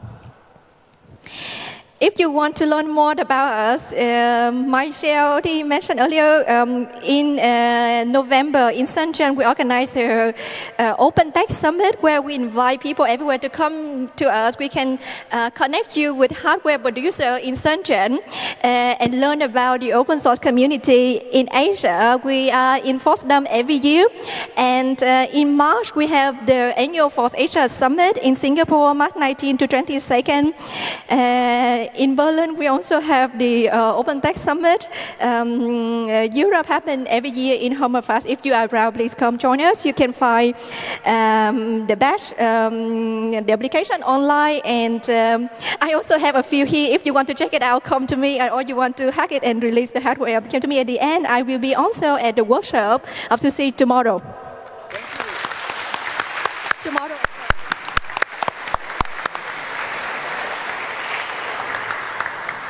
Thank you. Thank you very much. Thank you for the talk. Thank you for the talk. The next talk is going to be held by Jens Ohlig, which takes his presenter with him. And it's about digitalization and cyber are the two sides of the same coin. Have fun. Hello, my name is uh, Jens Ohlig, and on the internet I'm known as uh, Jol. I want to talk about uh, European politics and how fascinating it is. Um, and I've chosen one of the best quotes I've heard in the recent months. Digitalization and cyber are two sides of the same coin. Let's examine this quote a bit more. So, uh, on July 16th, we got a new president of the EU Commission uh, Ursula von der Leyen, a German politician. Her former job was uh, the German Minister of uh, Defense, uh, but you might know her from uh, 2009, where she got the nickname of Zensursula because she was the only, the first federal politician to introduce uh, internet censorship on a federal level uh, in Germany. Um, it failed horribly, and uh, some of you might have thought, wow, this really does it, this breaks um, this Brexit, for me, I'm now doing something political significant. I'm going to join the Pirate Party. Now it's 2019. She is still politically significant. Uh, the Pirate Party, not much so, but um, she is now she has now moved uh, to Brussels. Uh, although um, yeah, she now became the president of the EU Commission, uh, she was uh, confused about her job uh, earlier. Uh, she thought that the Council of the European uh, Union nominated her. That's what she wrote in her farewell letter to the um, armed forces, uh, even though it was the European Council. That's a totally different institution. Now, Council of the European Union, European Council, many people confuse that, but uh, most people who confuse that don't apply for that job. So um, she uh, had some time to uh, prepare for her job. So she uh, wrote down her agenda, a union that strives for more, and published that. And there were lots of interesting quotes in that uh, paper, especially when it came to the part that was about uh, digital politics. Uh, she said, uh, to lead the way on a next generation hyperscalers, we will invest in blockchain, high performance computing, quantum computing, algorithms, and tools to allow data sharing and data usage. Yeah, uh, blockchain and quantum computing, check, but no mention of open source, open data. Um, she also said, in my first 100 days in office, I will put forward legislation for a coordinated European approach to the human and ethical implications of artificial intelligence. That's uh, super ambitious, uh, actually. Um, so in February, she wants to have a law presented on uh, ethical AI, but there is no consultation process even started yet. Uh, I would say that's not possible, that uh, thing. But the real kicker is this wonderful gem of a quote, digitalization and cyber are two sides of the same coin. What does that even mean? It sounds like straight out of a science fiction um, story, cyber. What does it mean maybe the French speaking people in the room would say, yeah, that's because English is not the best uh, language for international communication. We should have stuck to French, uh, the, the, the, language of uh, international diplomacy. But it doesn't really make more sense in French either. Les numérations et le cyberspace sont les deux faces d'une euh, même médaille. Um, what does she actually mean by that? It becomes a little, little, little more clearer in the German, where they talk about digitalization and computer and network security are two sides of the same coin. So it is about cyber security. So that kind of cyber we are talking about. We're not talking about cyber. Um, I don't know, as an aesthetic movement where you uh, wave around neon tubes a lot, uh, we're talking about cyber security. And that phrase struck me as a little odd, so I went searching. Where does this odd phrase come from? Let's ask Google, and I find um, many results that have something with Siemens.com attached to it. Actually, they are, seem to be the only ones who are using that. They even had a, an interview. Why is digitalization and cybersecurity two sides of the same coin? Uh, interview with uh, Siemens CEO Joe Kaeser. Of course, she didn't prepare it herself it was written into that document by someone, and it is just an incorrectly shortened Siemens slogan. Digitalization and cyber are two sides of the same coin. It's not a mysterious phrase after all. Thank you very much. That's all I have. Thank you. Thank you very much. Thank you. Thank you. Thank you. Thank you for thank you for your talk. I'm very excited for the next talk because I don't know nothing about it but its speaker. Uh, please greet Fukami, Fukami for introducing Deep. Hello. Hört man mich? Blah, blah. Okay. Yeah, uh, hello, it's about, yeah, uh, I'm Fukami. I live in Brussels since five years now. And uh, the talk is about, I would say, the experience that I had over the last five years uh, being involved into EU politics, and it's like it's it's uh, like uh, yeah, like we we uh, keep in that space for a moment longer. So what I learned over the last five years basically are uh, things that are also connected to what Jens already said. It's uh, language. So we often, like as technicians, when you are when you are involved in policy uh, things, it's very often about uh, the the difference of meanings uh, in in terms. Let's say, for example, if a politician or uh, a social scientist or political scientist talk about algorithm, what they mean is basically, yeah, like a, a synonym for automi- uh, for um, automation, while uh, a technician or like an engineer, uh, another algorithm is a solution. So it's a completely different thing that we are talking about. So why does it matter? It matters because um, policy is all about expressing ideas and uh, trying to change uh, the society uh, for the good. And I, uh, what I learned uh, as a good thing in Brussels is that I have the feeling that everybody wants to do the right thing. So, yeah, Brussels. Um, what what I learned over the last five years in terms of influencing EU policy is there is on, on, on one hand there are a couple of groups uh, they are tied to especially digital rights like you know, data protection, free speech, net neutrality, and uh, open knowledge, or like free free knowledge, and and um, there are a couple of groups that deal with it, but when it comes to the real technical parts or, or more like, you know, cybersecurity or also artificial intelligence or other discussions that are more, that have a deeper technical um, approach, uh, it's, it's very difficult to actually have uh, a good conversation. And um, what we want to uh, do is to um, get uh, a new organization started called DEEP, which stands for Digital Expertise in European Politics. And what we want to do is to get technicians closer to the Brussels bubble um, to do two things. One thing is to influence policy before it gets, you know, uh, before the proposals uh, get issued by the European Commission, so being involved into uh, uh, um, the, the, the phases before that, so green paper, white papers, as well as the consultations. And on the other hand, um, helping educating policymakers, so not so much politicians, because politicians uh, get uh, elected uh, only for a, short, uh, a certain amount of time, but the people who actually write all this, the things, so it's basically the staff of the European Parliament or the Commission or the Council. Um, and uh, starting discussions with them and, and uh, helping them to understand the gist of the technical um, things in order to influence uh, the policy at the end.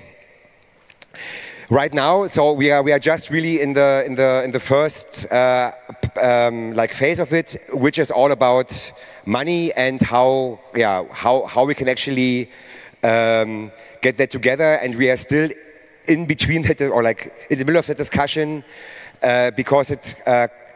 Um, one thing that I also realized is that on one hand we have basically American companies uh, and the industry lobbying uh, yeah, with like American uh, um, industry money. On the other hand, we have the civil society that is basically um, paid by uh, American um, foundations. So that has to be that has to change. Um, and we are discussing how to actually change that, which is a longer discussion that, uh, than uh, what, what is possible to do here in five minutes. Um, so uh, I'm at the About Freedom uh, Village. My name is Fukami, and I would like to talk to you guys how to actually fix that in the future. Thank you very much.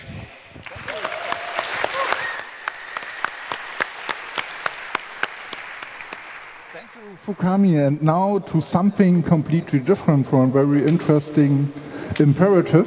Draw the internet. Please come to the stage. Hi, Chaos Family. Okay, thanks. Right, so I'd like to share some thoughts about drawing the internet. I basically, the last year, I um, asked a very simple question to kids in two different countries. And the simple question was, um, the, I should mention these kids were between 6 and 12, so this is, in Belgium, this is primary school. I gave them one simple assignment, as I mentioned. Draw the internet. Um, and I explicitly chose to include the word internet because I wanted to be inspired. I wanted to be have the future generation, our children, to inspire me. What are we doing on the web that we're building right now? Like we have this a lot of talk about what is the internet, where is it going, where did it came from, what is the web, blah blah blah. But I wanted to like project myself into what do these younger people think about internet. Um, my name is Dries. You can reach me on these channels. I'm part of the Fri3d Camp Village, and Fri3d Camp is a family-friendly hacker camp, which we do in Belgium every two years. Uh, and, and, this is very much on that ethos. The inspiration very much came from what I experienced as a co-organizer of this camp. Um, I did a first collection of drawings. So I had a first collection of drawings from kids in Belgium. This is in winter 2018. And then I traveled to Senegal um, in February 2019, so pretty recently, and I did the same experiment because I wanted to know what does the cultural influence on internet perception is. And I just want to share a couple of these results now. Uh, so this is a very typical kind of thing that came out a couple of times. Um, this, this reads, just like outer space, the internet is infinite. And this boy, uh, age 12, he made a drawing of planets. So I found this in infinity kind of thing is pretty inspiring, I, I believe. Um, this is someone from Senegal, and it, it, you, you, see like the, the level of, of, abstraction is, is, so much higher. Uh, the super interesting thing in Senegal was that uh, kids, when you mention the word internet, the word does not really exist in their culture but I'll get back to that later. So the, the level of abstraction just becomes a lot higher. A lot of colors, of course. You like the, the use of color, that inspired me in this drawing. Um, this was interesting. This is a result from Belgium. Um, like intertangled wires. It's uh, someone aged seven, and, and this is what it's in their mind when the word internet is mentioned, which I think is cool. Um, again, age six, you ask them to draw internet. It's like, yeah, what, what, will they come up with? And they tend to draw like people and, connections between people. Like you see the curly lines between the heads of the people, like they're connected somehow. And then there's like a little heart, um, which I think is super cool and super fun. Um, this was interesting. Um, in Senegal, a lot of the kids, they draw um, devices, like, because there is like, they never in that country never had computers or the introduction of computers, of computing, as we have it uh, in Europe, for instance. Uh, so there it's like mobile is the default. They would draw mobile devices. It's phones and tablets.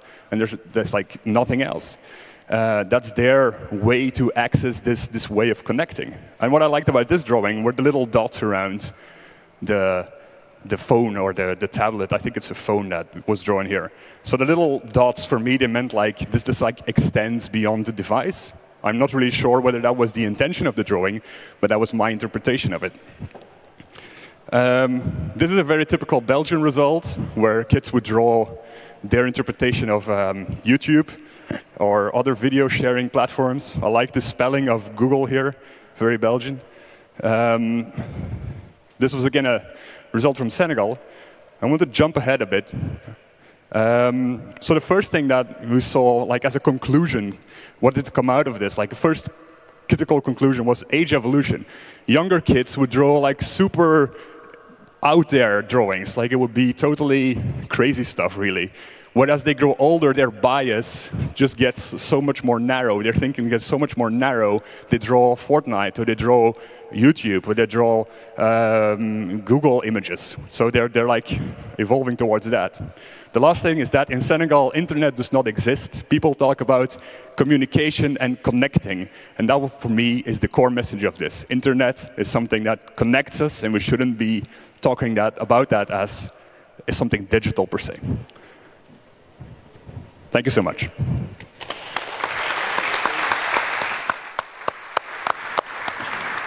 The next talk is kitspace.org, one-click orders for open source hardware electronics.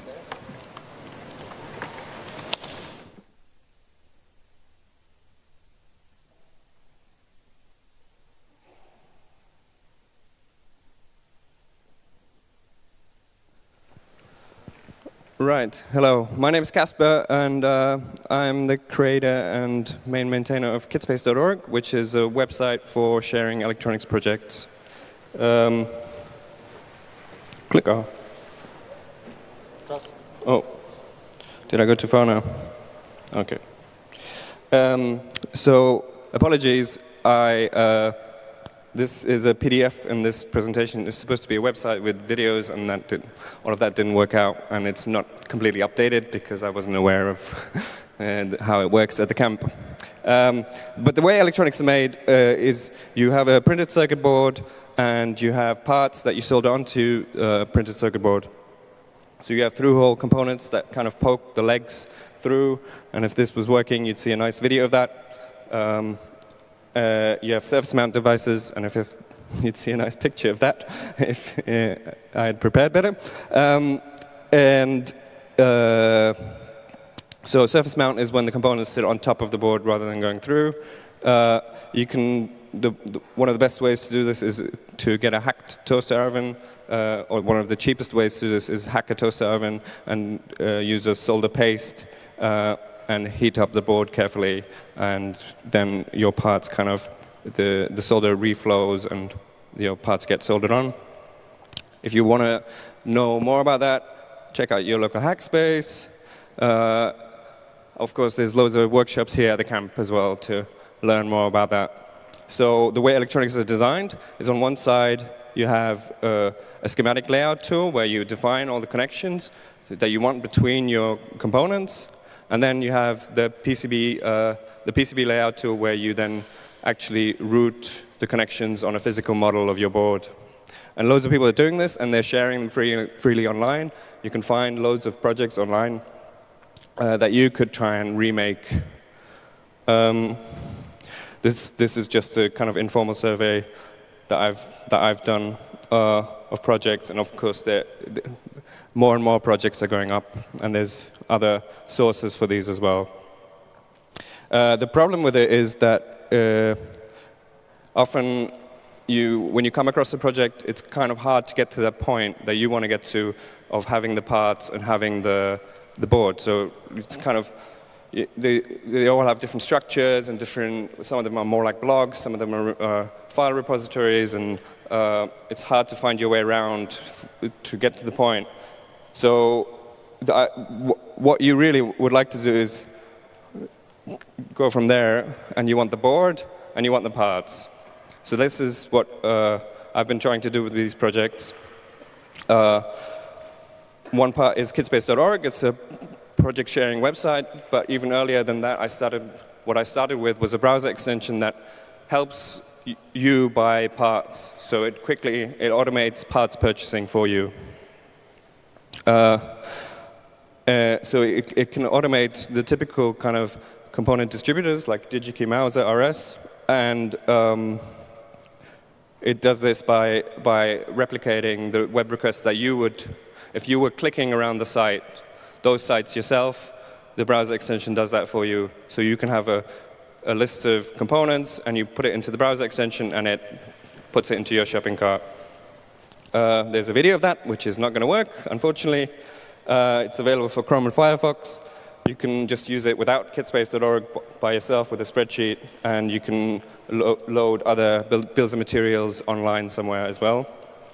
Um, so the other part to this is, the, of course, you want the board and you want to make a complete project. So that's what kitspace.org is for. Kitspace presents the whole project uh, together with the boards and a README and a detailed uh, bill of materials and buttons on there where you can just click and it hooks up to the extension and you can then get all the parts for someone's project. Uh, the way you add a project on Kitspace currently is you set up your own Git repository somewhere, GitHub or GitLab or your own server, and then you, you submit a pull request to the Kitspace project and say you want to add yours, and um, you then it, it, it gets added. So uh, the idea really is to have this, this, this virtual kit. So the creators can make their design and put it up online, and you can buy it independently, independently yourself. So there are a few interesting projects that I would love to have time to talk about, to, but I don't. So come find me around camp. Thank you very much.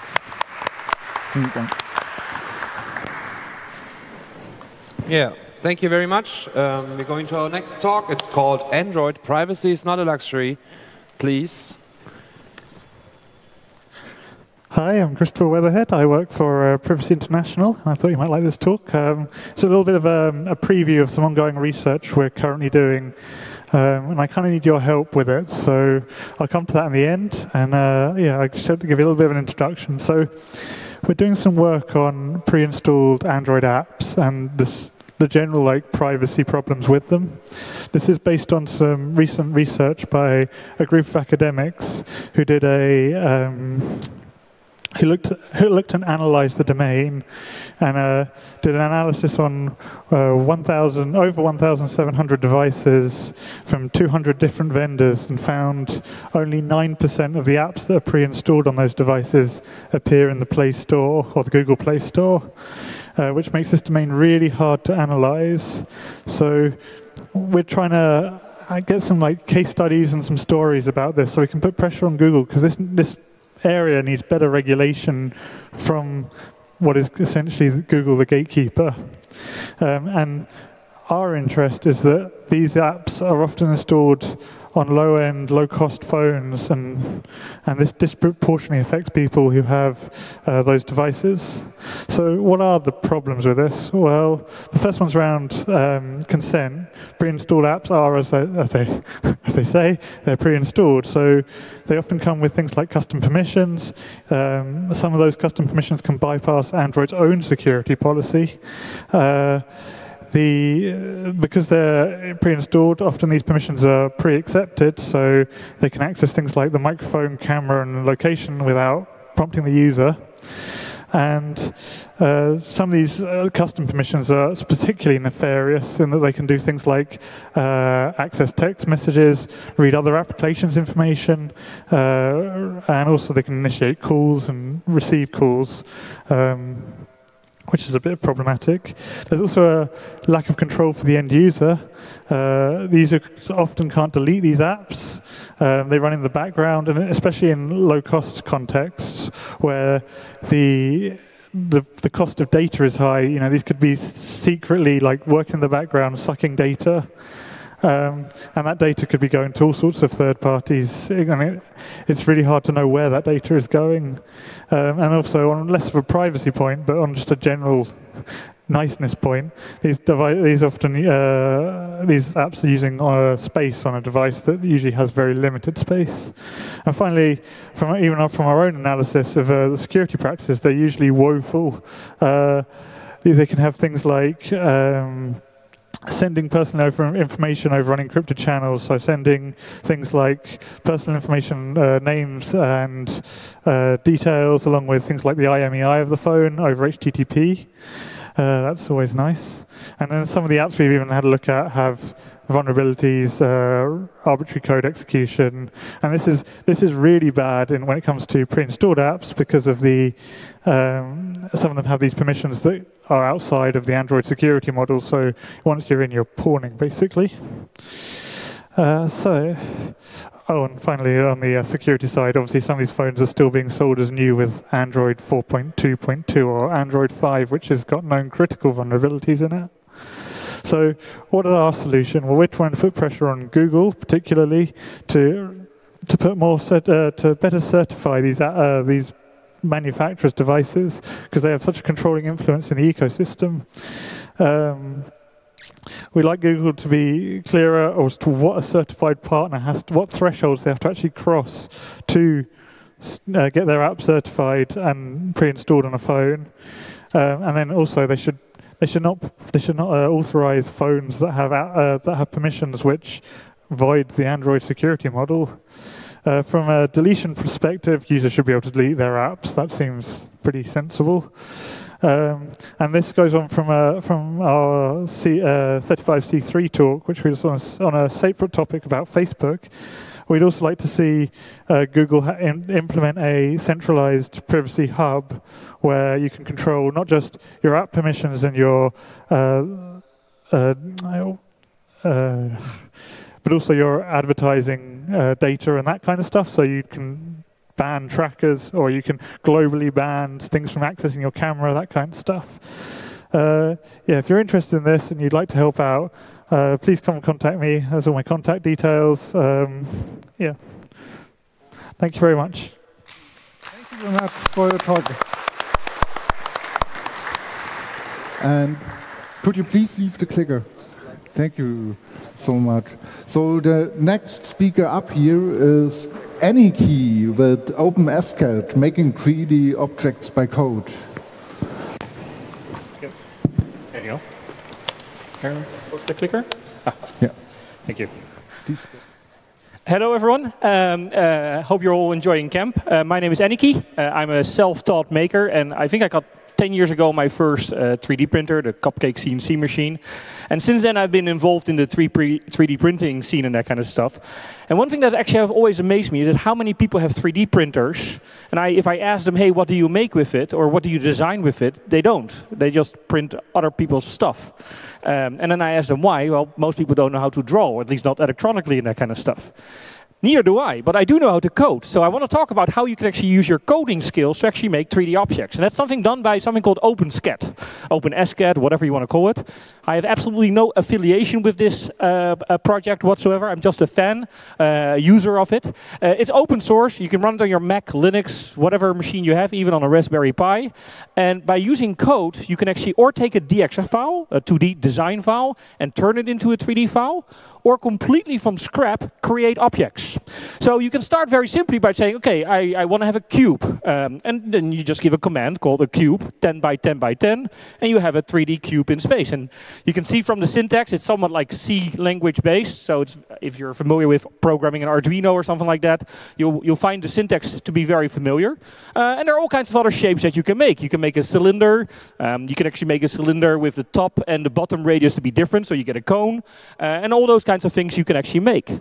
But as it is a programming language, you can actually do operations with these things. So I can take that cube and I can take that cylinder, and by putting a, a, difference command around it, it actually always first draws the first object within the difference command, and anything else than what I specify, it actually subtracts from it. So I end up in this case with a cube with a hole uh, through it, and whatever other objects I add within that difference command, it starts subtracting that. One other method that you can actually draw more complex shapes, something that I actually use a lot, is I can put, for instance, a few cylinders um, in a particular order. So I'm using the cylinder command here, and I use a translate command to actually place it somewhere in space. So uh, a particular order, in this case, like a triangle. Now I have these three cylinders, by just simply putting a hull command around it, it makes a 3D object of that outline uh, of that shape. Now, if I want to have maybe holes in this triangle, I can take those exact same three cylinders, just shorten the radius a little bit, but keeping them on the same space, and use my difference command, and I end up having a nice triangular plate with rounded corners, with holes in it, and all that kind of stuff. But the nice thing about all of this is, is it's a programming language. So you can really make the benefits of having a programming language. So when I design stuff, uh, I'm very impatient. I very quickly want to make something, and then I'll find out everything that's wrong about it, and I'll go back and fix it. You can do that all with parameters. So in the beginning of my program, I define my parameters uh, that I'll probably later know that I will have to change. Um, and I make modules for these uh, objects to make my code very simple and very readable. And this is really how you can leverage the power. You can loops and all those kinds of things to really make very complex things with just a few lines of code.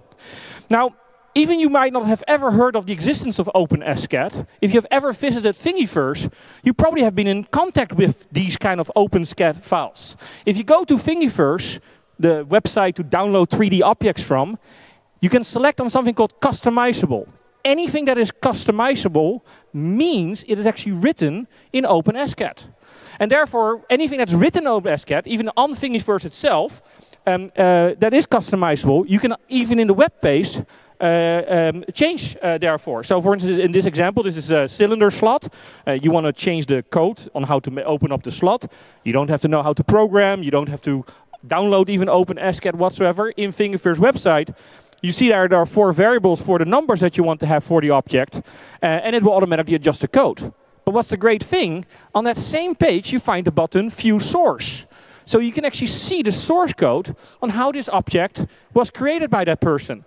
And all that person does is in the beginning specify those variables. Those variables therefore are picked up by Thingiverse to show it into a nice web interface. And then you can take all that code that is in existence there.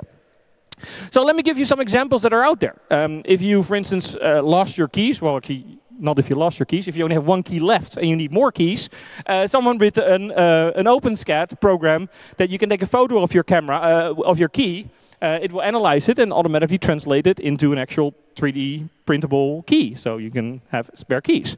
Um, other projects, oh, uh, someone made a, customizable thing for on your laptop to uh, that you don't have to put a silly sticker on it or something like that, but that you can make something nice with your name on it or something like that to hide your camera. Uh, someone made it for Kwikset keys. If you have a Kwikset key, I actually tested this last week. Uh, you can just type in the code and you uh, you get it.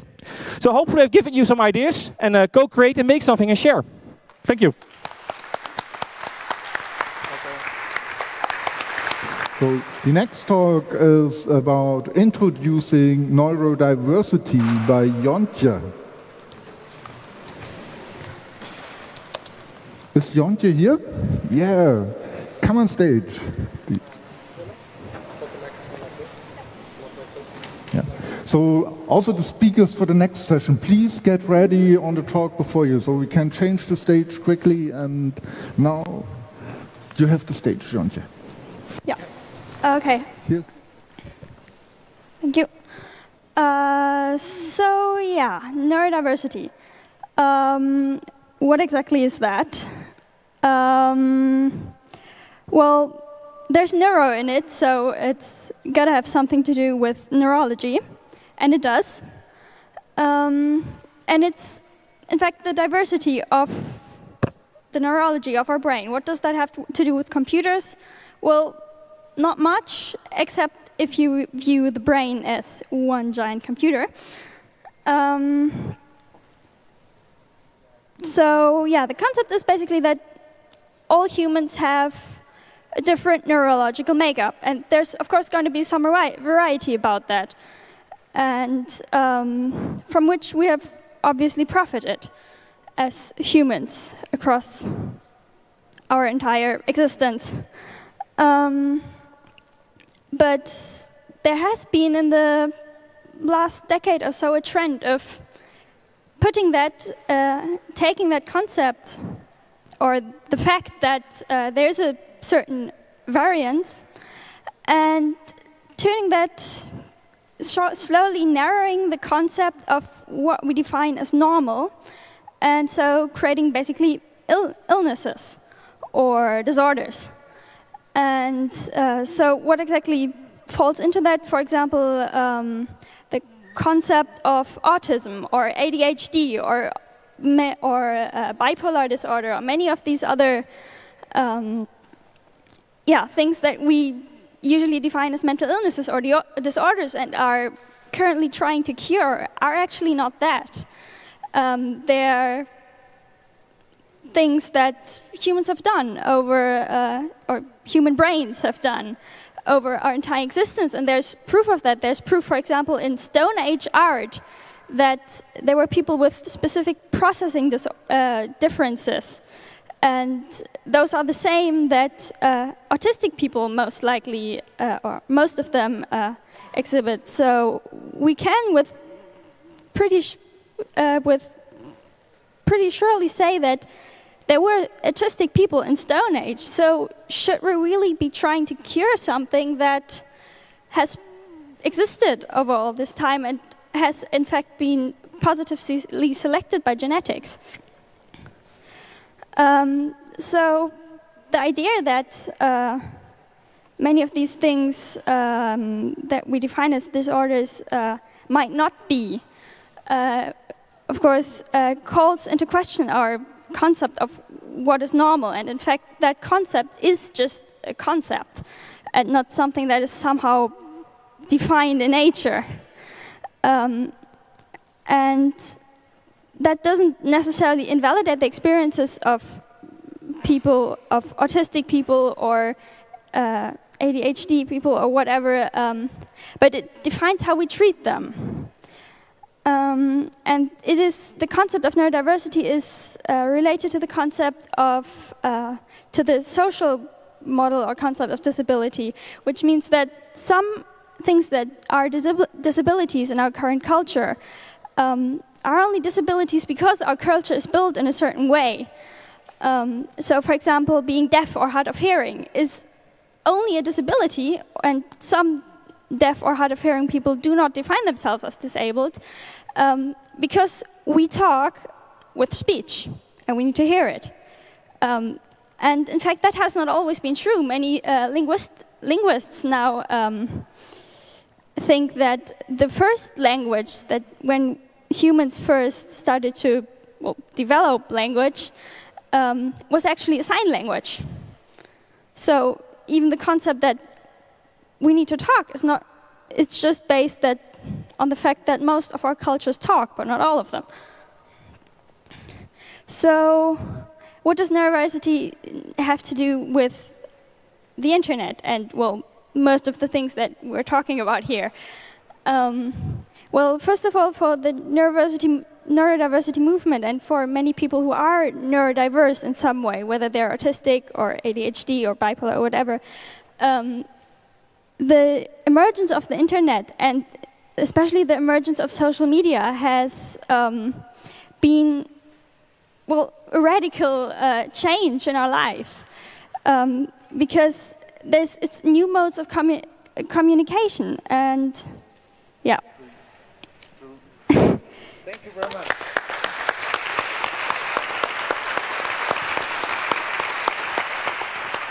The next talk uh, is coming with AI-powered robots in real life by.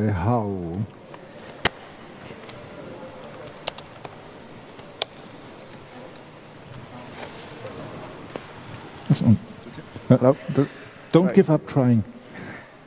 Just.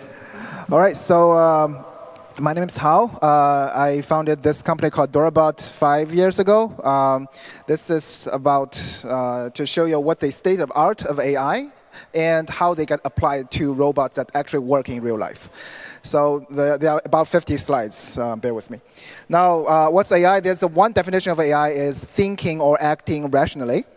And AI is used very widely. To the left um, is what AI is used 30 years ago, which is recognizing handwritten digits. And what AI can do now uh, is identifying each of the uh, cars in a picture and then actually separating them so they know they are different cars. And uh, there are a bunch of other applications of AI. Uh, AI can play Go, beat the top, top human player. Uh, AI can allow you to go into a store, pick up item, and then leave uh, without uh, waiting in the line for, check, uh, for, for checking. Right? So you don't need to pay with your credit card and stuff. The AI just recognize who you are and what item you pick up as you go. And then we have robots that move shelves in the warehouses to kind of ship stuff that you buy ordered online. And AI can recognize stuff in the video, uh, whether, uh, whether or not this part of the video is a car or is a human. Uh, AI can recommend you similar products that uh, you've searched for can tell you where you should drive uh, on a map, right? Can fetch a cup of coffee for you, operate a coffee machine, and can generate, you know, different uh, kind of synthetic or generate or replace a face of a character onto another one that you cannot distinguish as a human. Uh, can synthetic new faces based on source pictures, right? So the uh, the people's face on the bottom right is they don't exist, right? They are synthetic human. Um, the best, this is my favorite. AI can actually beat uh, human StarCraft player uh, already uh, by just, well, these are the uh, visualization of how the neural network works. So um, if you're interested, the slide is online. Uh, there's reference book about AI. And a robot is a machine that can carry out physical tasks, basically. And uh, there are just differences between the, uh, the robots before versus robot now. Basically, robot nowadays with AI equipped can work in more unstructured or dynamic environment versus the robot before can only work in structured environment that's programmed. Now, previously we do 2D vision, now we can do 3D. Uh, previously, the mobile robot have to follow lines on the ground. Now we can navigate freely in any environment. Uh, previously, you have to use a teach pendant or remote control to program the robot. Now we can actually have the robot uh, compute its own path automatically. And previously we have rigid robot, now we have collaborative robot that even if it hits you, it doesn't break your bones. Now, uh, to the left is what I built in 2012 in uh, Noisebridge in San Francisco. Uh, to the right is uh, after the company is established, will be built um, uh, in 2017. So both are mobile multiplayer, and all the following are how they can get uh, applied. So this is a gripper. Uh, it's a dexterous hand, mimicking human hand. It can grasp balls. It can uh, run, uh, kind of operate a screwdriver. It can kind of put salt on a plate. Uh, we can also have the mobile manipulator draw pictures, operating coffee machine, making dumplings, picking items from the shelf directly, and uh, this is how it works. So basically, the, uh, it shows how the robot evaluates the environment around it and then figure out how to grasp an item. So how do we apply it to real life, right? So um, one, one of the options is uh, conference service. So I just came from uh, Macau uh, in this international joint international conference of AI, and then uh, we, we put robot in use. So we have uh, uh, conference participants present their badge to the robot, and then the robot fetches the souvenir and then presented the souvenir to the, uh, to the participant. Uh, we have people lining up for receiving the souvenir from robot. Uh, we have a coffee pouring robot. So we have a barrel with coffee, and then if the robot sees you stands in front of it, it pulls the lever on the coffee barrel, and then kind of present you with uh, the cup of coffee. And uh, this is my favorite part. So essentially what's happening is we have mobile robot running around in the uh, reception, and have. Um, uh, uh, so we, we have them serving drinks, but then they soon become garbage collection robot because people just put place on them. And uh, this is what the company is mainly about. We actually put robot in uh, logistics, so loading boxes into trailers, sorting packages, uh, different ways of sorting packages, different ways of sorting items that's not in a package, and all the stuff. And then, yeah, so if uh, you are interested, talk to me. This is my contact. Thanks. Thank you very much. Dear audience, I'm a very shy guy and don't like to interrupt people. That's why I need your help. So, but I don't think uh, we need your help for the next speaker because I'm very, very happy to have Ben here on stage. I'm very happy he could be convinced to be here. The next talk will be in German and it's Ben, zehn Jahre Doodle an der TU Dresden, ein Resümee. Ja, hallo. Okay, also zehn Jahre Doodle. Ich nehme mal an, es wissen wenige Leute, was Doodle ist. Wer weiß, was Doodle ist? Das, das Doodle, was hier steht, das D-U-D-L-E. Hey, ein paar. Cool. Ähm, dann, wer weiß, was das hier ist? Doodle. Das wissen hoffentlich alle so ungefähr. Genau. Also es geht eigentlich um, um sowas, und zwar eine Event-Scheduling-Applikation. Ähm, wir haben sowas in Dresden nachgebaut. Das sieht dann so aus, eigentlich ziemlich ähnlich zu den ganzen Sachen, wie es ähm, Original-Doodle ist. Ähm, allerdings, was wir gemacht haben, ist ein, ähm, Haufen Krypto-Features reingepackt. Das ist jetzt zehn Jahre her. Damals war das noch cool und neu. Heute gibt es sowas mit CryptPad und mit CryptBin und ähm, ja, es gibt so ein paar Applikationen. Das nennt sich alles Zero, Zero Proof oder Zero Footprint Application. Ähm, die Idee ist einfach nur, dass man im, mit JavaScript Sachen verschlüsselt und dann verschlüsselt auf dem Server speichert. Und da gibt es verschiedene Protokolle, in denen das passiert und genau sowas haben wir also, also gemacht. Ähm, wie gesagt, zehn Jahre her. Wenn euch das mehr interessiert, dann hier schaut euch die Vorträge an. Das äh, habe ich schon ein paar Mal vorgetragen. Einmal ähm, auf dem Camp 2011 und auf dem CCC 2009 und auf den Datenspuren, äh, die bald wieder sind ähm, in Dresden. Genau, äh, da gibt es Videos dazu, könnt ihr euch genau die Features anschauen. So, und jetzt ist es zehn Jahre her, jetzt ähm, stellen wir uns die Frage, na, was ist denn jetzt passiert seitdem? Ähm, die Sache ist die, wir ähm, haben so ein paar, ich habe einfach ein paar Statistiken zusammengesammelt. Die Umfragen werden alle drei Monate gelöscht, das heißt, sie sind nur drei Monate auf dem Server drauf. Ähm, und also sie werden nach drei Monaten gelöscht, wenn keiner ähm, sie benutzt mehr. Und ähm, Achso, genau, das, dazu komme ich gleich. Ähm, das erste coole Feature ist, mittlerweile gibt es auf 20 äh, verschiedenen Sprachen. Also ein Riesendank an die Community. Ja. Ähm, ich habe ich hab also in unzähligen Sprachen Submissions bekommen. Das war also unglaublich teilweise, äh, was alles dabei ist. Genau. Ähm, ihr könnt noch mehr übersetzen, wenn ihr das wollt. Müsst mir einfach die Dateien schicken. Genau, das nächste, jetzt komme ich eigentlich dazu. Wie gesagt, es wird ähm, alle drei Monate gelöscht und ich habe mal gezählt, wie viele Umfragen überhaupt so gescheduled werden. Ähm, und da sind, naja, ich komme auf 130.000 User, die pro Monat das benutzen und sind 12.000 Umfragen, die pro Monat gescheduled werden. Also ist doch eine ganz schön große Zahl.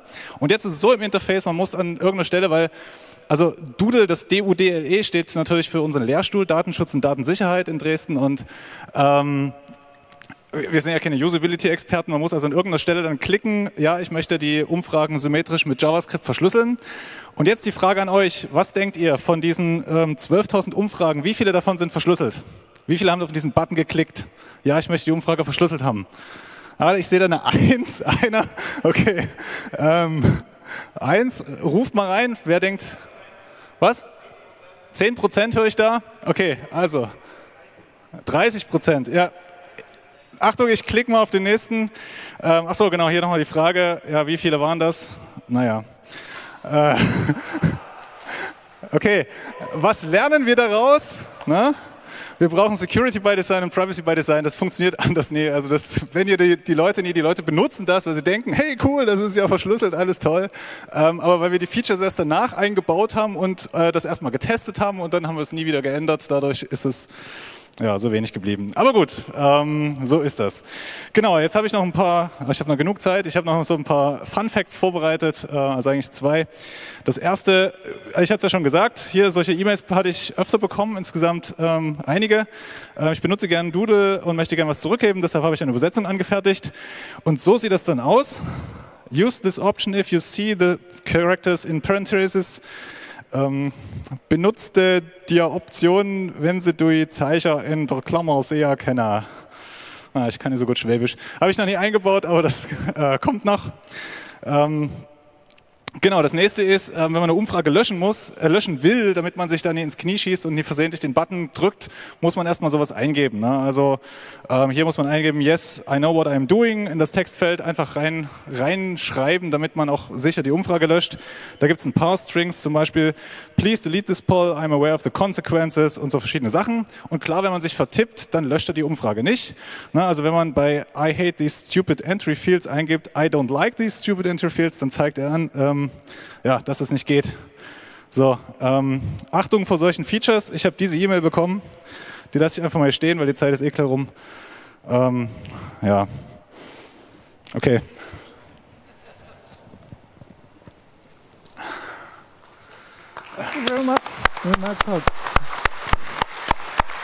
Also, die ging dann über die Pressestelle an den Prof und der sollte sich rechtfertigen vom Rektor, warum er solche Wörter benutzt. Das war Spaß. Gut. Thank you. The next talk is Gemeinnetz is also in German. It's Gemeinnetz Software entwickeln by Mo.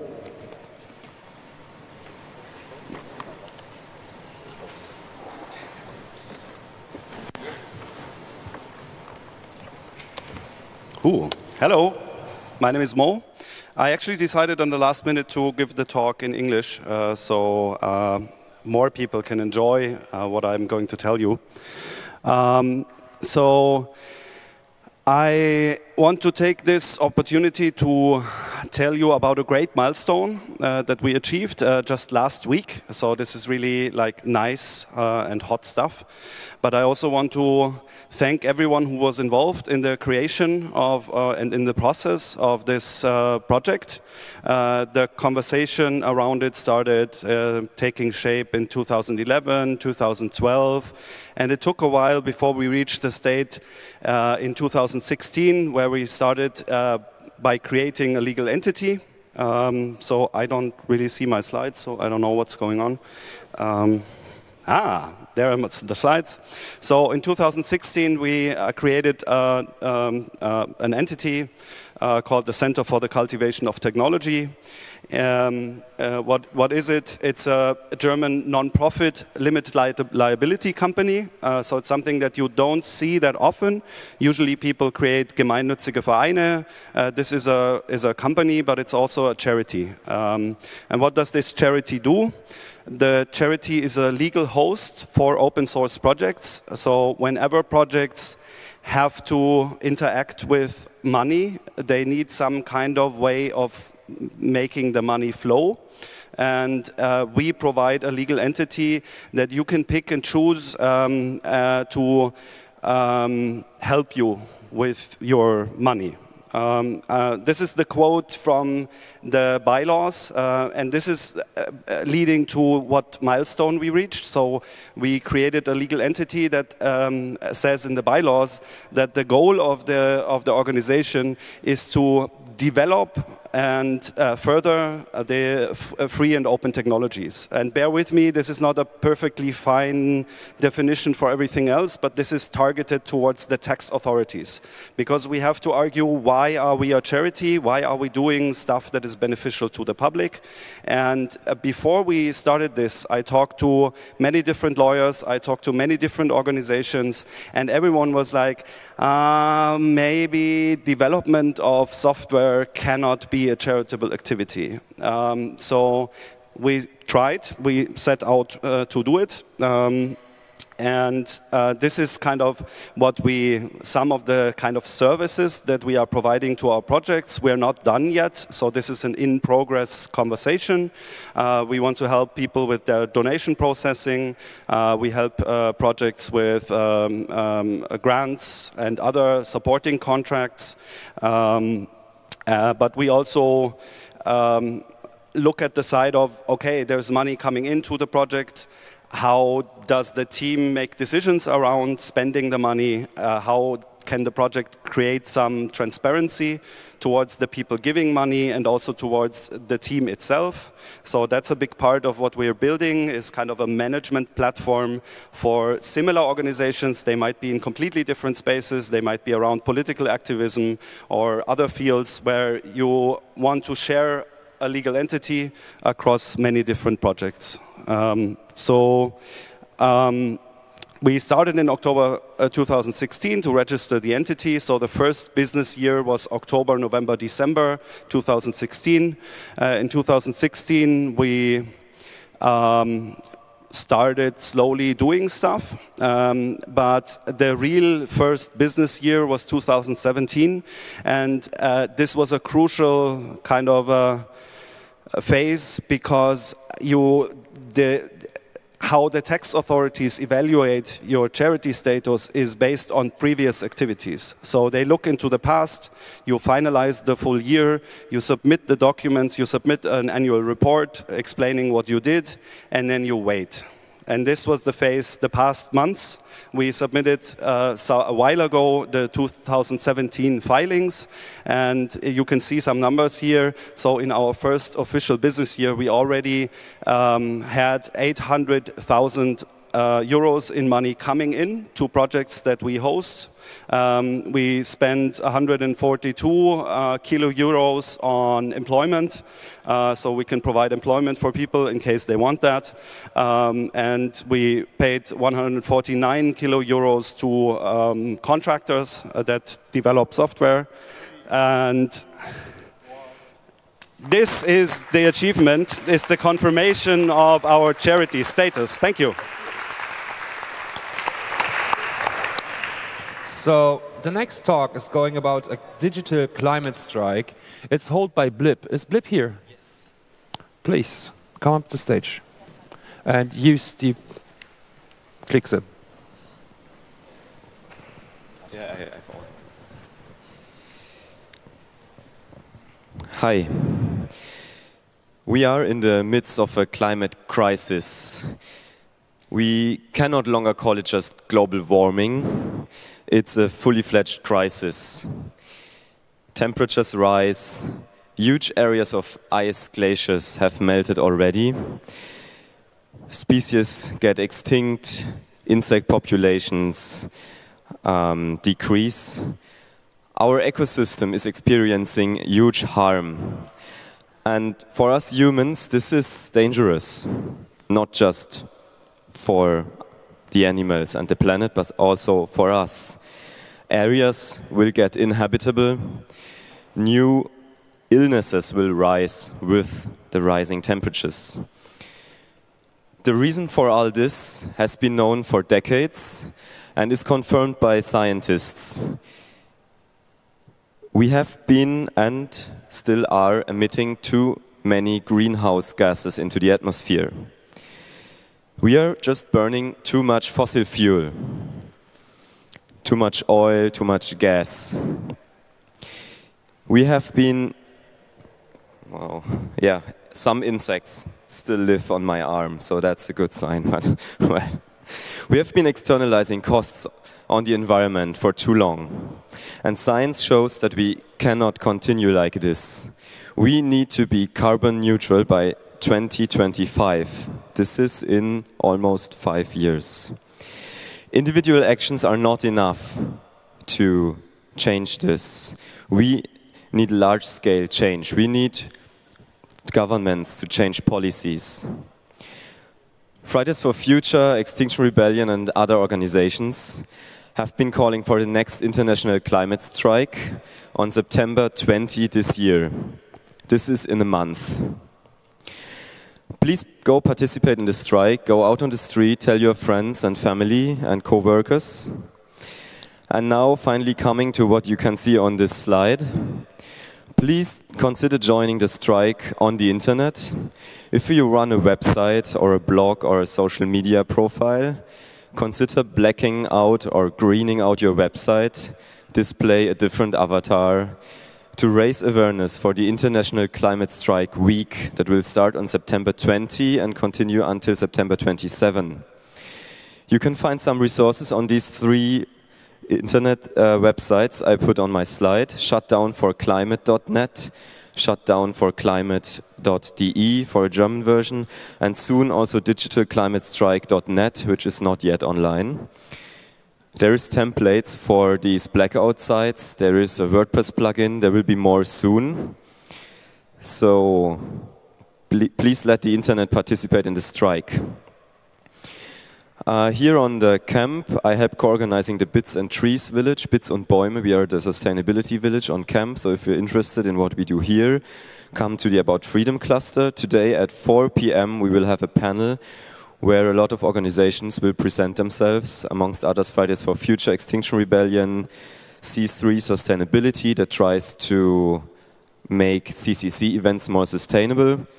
So please come by, have a look, and if you're motivated to help, please join us. Thanks.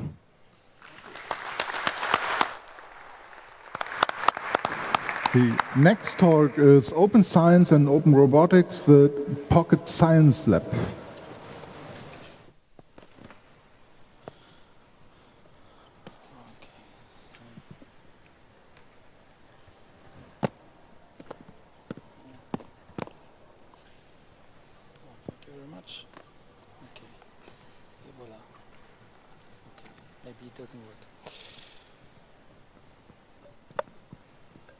Okay. Yeah, I'm going to talk about a Pocket Science Lab. Um, some of you might know it already. It's an open hardware device, and um, since recently you can also use it for robotics. Um, the whole story of the Open Pocket Science Lab started in 2014 when Praveen came to the FOSSASIA Summit at that year in uh, Cambodia. We ran it at that time in Phnom Penh, and he introduced the idea of an open hardware device uh, for experiments, uh, specifically for physics.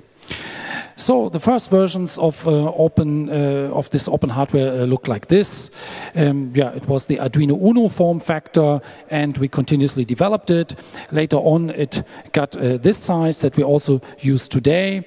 Um, so today it also supports Bluetooth. Um, you can attach a Wi-Fi module for the ESP8266. There are many small enhancements. Um, recently, we even um, uh, achieved to attach more um, uh, digital pins, for example, so you can run more devices at the same time, um, and uh, yeah, more sensors. So this is how it looks like. It's developed together uh, with the FOSSASIA community and uh, OpnTec in Germany. Um, we produce large, large batches um, in Germany and in China, so um, try to also make it sustainable and available for everyone. There are many uh, useful uh, instruments on it, um, so uh, components can be um, attached by pins. We have a desktop app, we have an Android app, and you can build your own apps. We support uh, standards like the UART standard. How it works, you connect it here um, through an app, app, for example, on the mobile phone. There's a USB connection, and you can power the device also through your mobile phone. Then um, you uh, click on these apps um, there, and uh, uh, so they are instruments inside the app that you can access. Um, for example, an oscilloscope, multimeter, logic analyzer, wave generator, power source, accelerometer, barometer, compass. Um, you can attach a lot of sensors. Any sensor that uh, runs with Arduino will also work with us. And we are adding more and more uh, sensors for gas, for example, PHP, uh, pH meter, and so on. So this is then how the oscilloscope looks like. Um, you see different waves, um, or for example, the power source. Um, here's the multimeter, uh, wave generator, and logic analyzer. You can create um, digital uh, uh, waves with digital uh, instrument or with um, analog instruments. And um, recently, we introduced the uh, this instrument um, is actually not to read, uh, it's actually to control um, servos. So small motors, you can have uh, four motors and you can um, yeah, draw here uh, which angle you want and then drag and drop them into a timeline similar to a video editor. So this was really cool. We ran a workshop here in Shenzhen a few weeks ago. Um, yeah, actually May 8, yeah. And uh, you see people really get excited and want to build it. And there's a small robot uh, on the table that they try to control with it. So um, that's really something new and cool.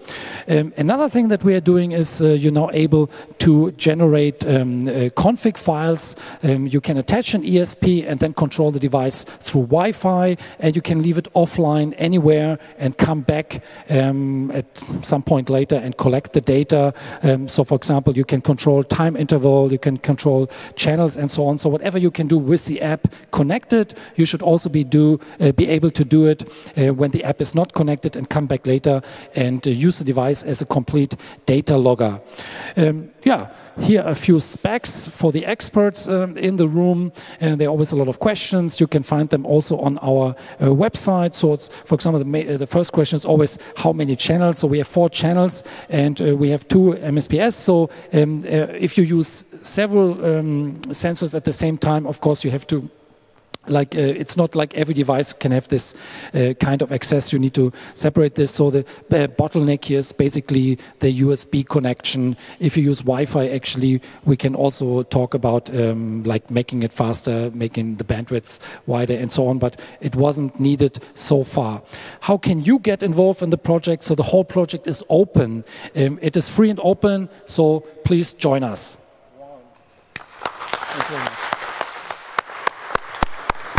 Thank you very much. Get it to the next speaker. Give, leave the clicker. Yeah, thank you. Thank you very much. Now there's Sofia Celi. We are going to learn something about Ola Bini. Thank you for being here.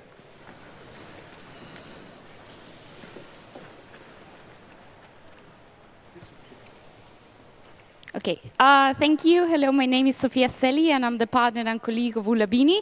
And today I'm going to talk about him because he is uh, unfairly persecuted in Ecuador, which is my, my home country.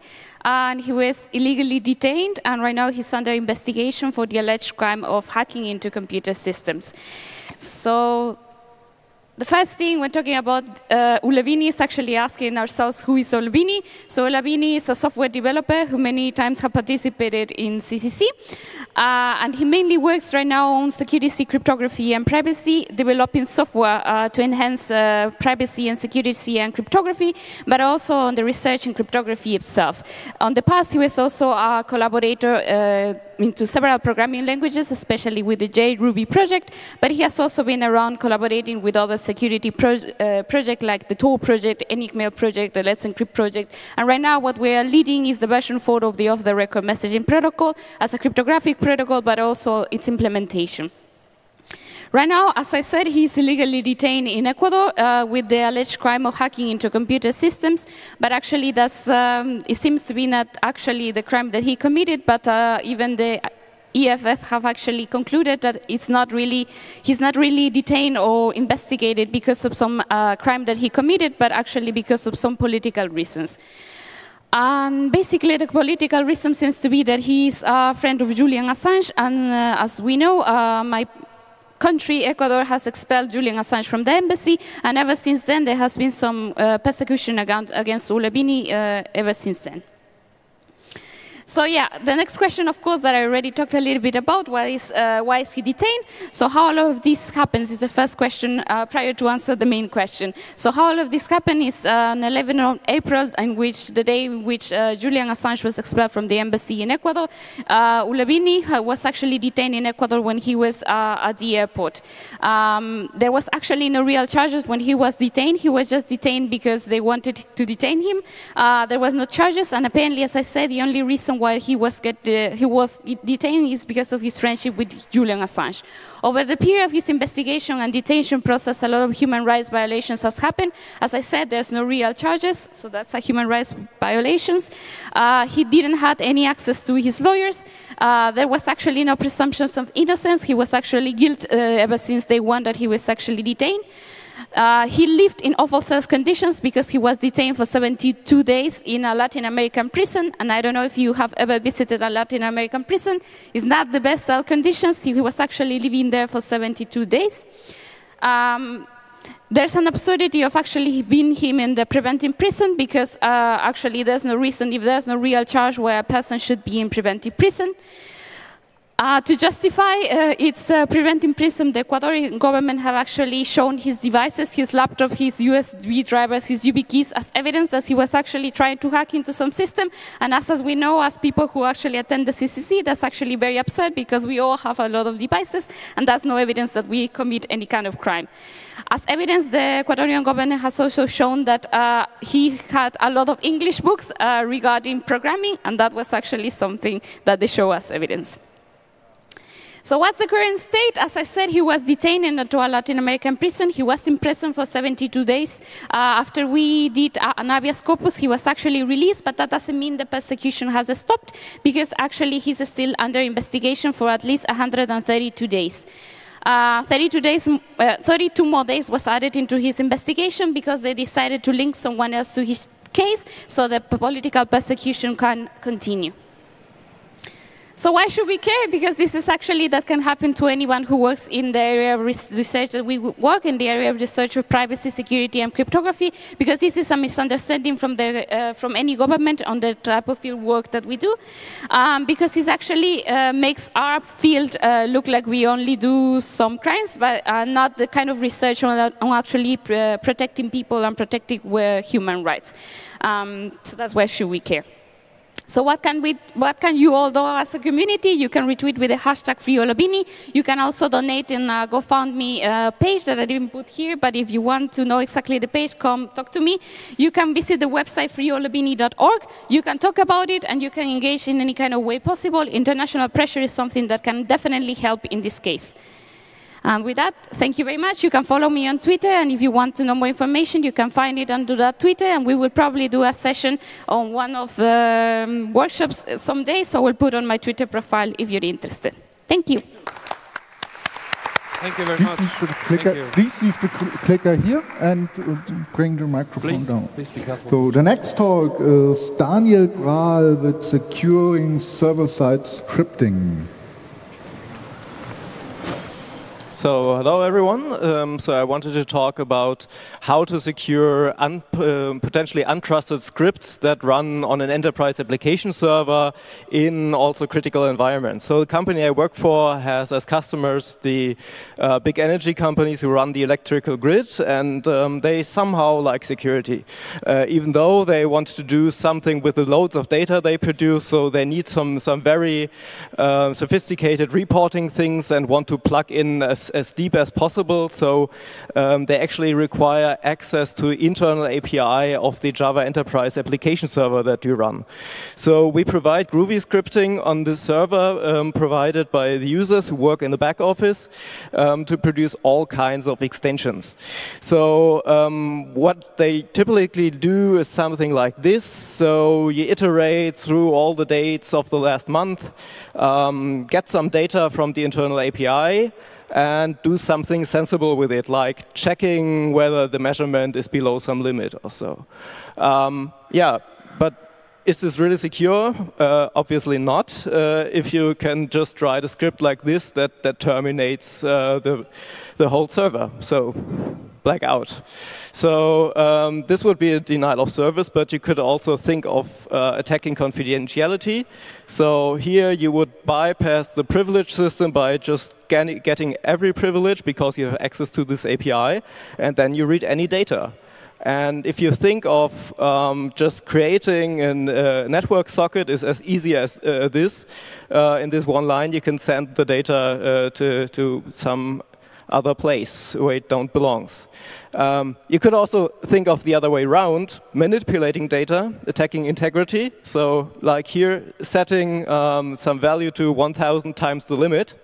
Um, okay, looks looks not so scary, but you, if, you remember, I said um, this software is potentially running the energy grid of Germany. So this is blackout for everyone. Ah, not so good. So the idea is to restrict to uh, a secure API um, where we know that, that all classes and methods are to be used are really secure and safe, and we cannot bypass authorization. So, um, but how to do this? So the user could still access the full API. Um, and the idea is to, to use um, a library called Groovy Sandbox. So essentially it allows you to restrict uh, the runtime, uh, what, what kind of imports you use, but then you ask, ah, imports, so why do I need this? So I can do everything at runtime. Everything's evaluated at runtime if you run such a script. So um, for, for instance, you just assign a variable and you can't uh, efficiently detect this uh, statically. So you can also use some, some shortcuts, some convenience methods. And the only solution can be to, to intercept everything uh, like this at runtime.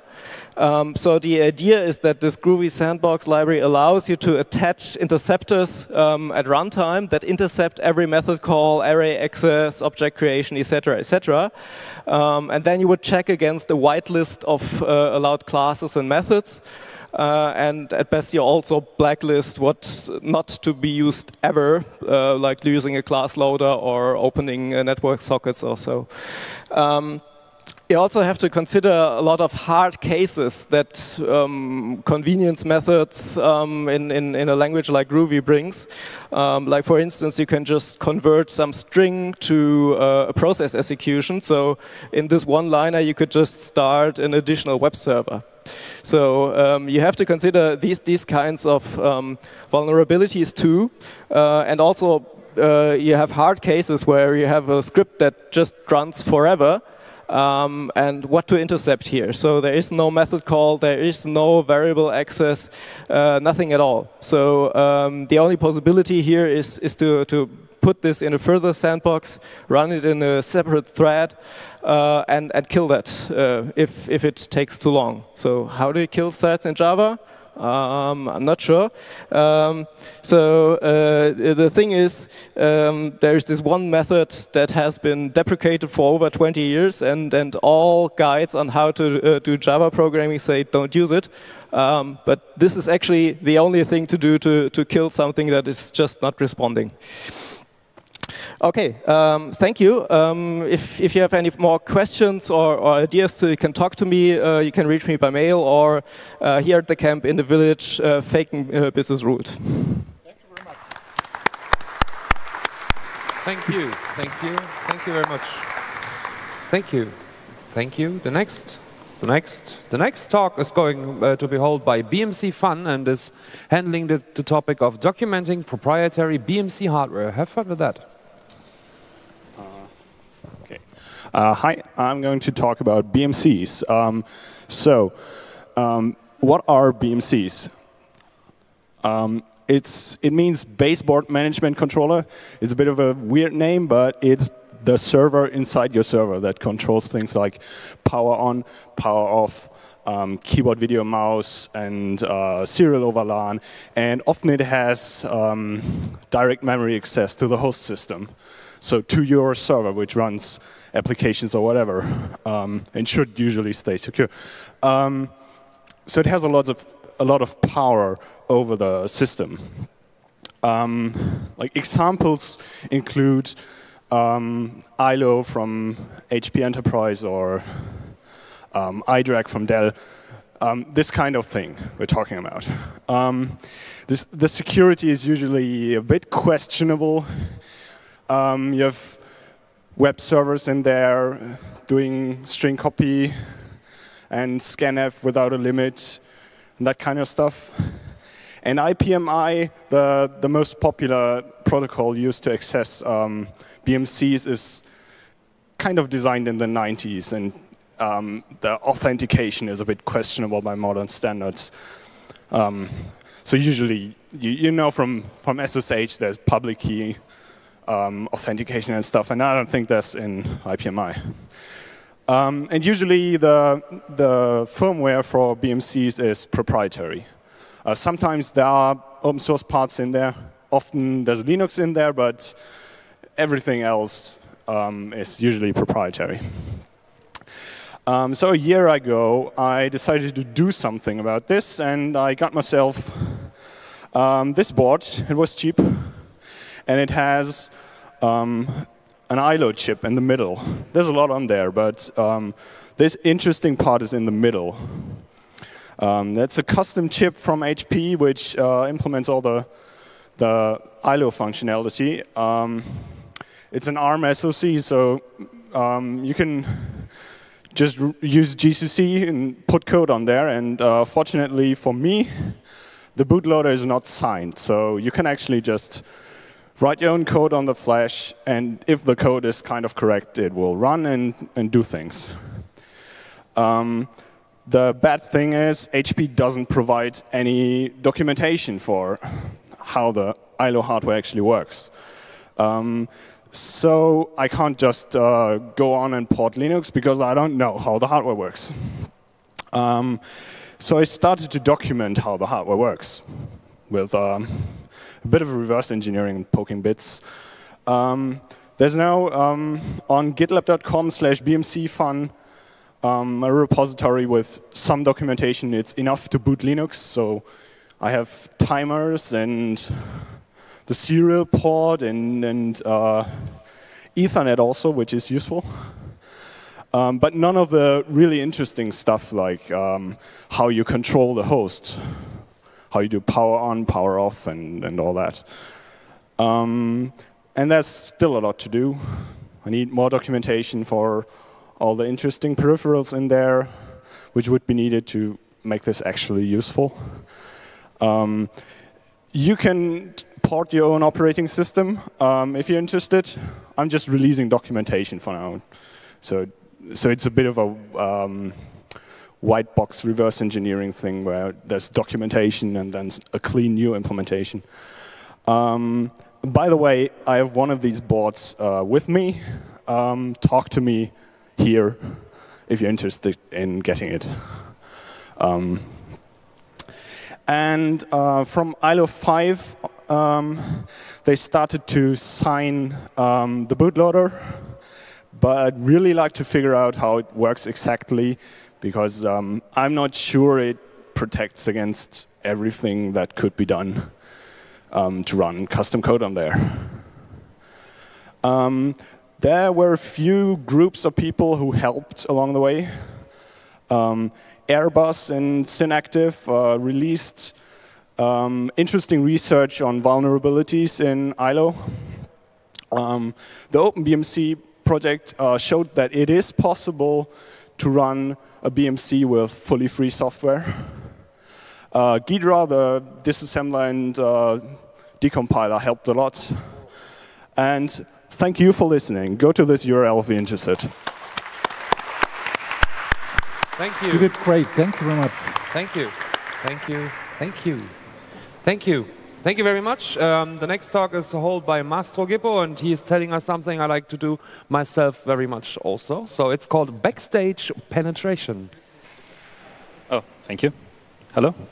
Uh, okay, hello everybody. Um, uh, so uh, there was this concert in Italy. Uh, it was a huge concert, and uh, um, there were mm, probably most of the uh, biggest artists, biggest Italian artists in Italy there.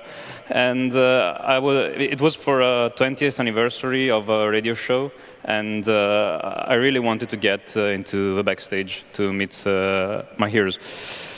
So I started thinking, uh, we went there uh, maybe an hour earlier, so I started thinking about how to get into uh, the backstage. There, were, uh, a lot of, there was a lot of security, um, so I started thinking about how to get a, a badge. So I started taking picture uh, with my brand new phone uh, with a super zoom uh, to try and, uh, and take a good picture of, of a badge. Uh, and maybe uh, print it later, uh, maybe get out of the concert and get to a close print shop or, or maybe next time get one of these printers. But it's pretty heavy, it's hard to, to bring around. Um, it's, it's not very comfortable to, to have on your backpack during a concert. Uh, but uh, definitely this is uh, a, very good idea to, to bring one of these uh, to, to, an event. And uh, maybe you can also have some preparation before the event. So I didn't know about that. I didn't follow the, the social media of, of this event too much, too closely. but yeah, why bother making the effort to take a very good quality picture of a badge when there's Instagram. so thank you to, thanks to this artist, or maybe even thanks to this uh, all areas friend uh, that posted this about uh, two hours before the concert started. So you just have to bring a laptop, uh, maybe scan some uh, uh, social medias, and you will get a badge, and then go somewhere and have it printed. But we didn't have time, we didn't want to uh, go to the effort to, to crop it, uh, to prepare it, to print it. We also had almost half an hour before the concert started. So we started looking around. And, well, basically, this is the uh, how it was configured. There was a main stage, and there was a big rail holding back all the people. And at the sides of the rail, there were uh, uh, security guards uh, looking at the badges to, to decide who who'd let in and who to who cannot let in, uh, cannot be let in. Uh, and uh, these security guards are third parties. They are not from the same organization of the concert, so they don't really know which badge is this night or whatever the event is. So they need uh, uh, um, something to, to check them against. And uh, on this rail, uh, there was uh, an A4 paper, uh, piece of paper attached with the picture of all the badges for them to easily compare. And of course, you can just take it and uh, rip apart one of uh, the badges. I decided to be an artist uh, both because uh, I was kind of a con artist and uh, because it didn't, uh, there were many, many artist badges around, so they couldn't know uh, everybody. And also I used a piece of string from the gadget, from the gadget uh, they gave away to, to, to make a necklace. So this was my badge. I carefully, I didn't have knives or anything, so I just cut the paper and folded it on the back and yeah, this is it. and I'm in. So I got in. I met uh, my favorite artist, showing proudly my fake badge. and uh, I'd like to, to give you uh, some, some takeaway, that, uh, some ideas that I got from this. So uh, the most important thing is to look around, to learn how people behave, to understand what everyone is doing, uh, to see how they are interacting with, with the security, and, uh, um, and mimic what everyone is doing. there were three important things. Uh, the water bottle. Everyone in the concert uh, couldn't have a water bottle uh, with a cap on. So only people from the backstage could have uh, a cap on the bottle uh, because all the bars were removing the, the caps before giving away the bottles. So I had a cap on my pocket and I closed my bottle to make it look like I was backstage. Uh, also the T-shirt, they were selling T-shirt like uh, like people like artists, and that's my face. So good luck.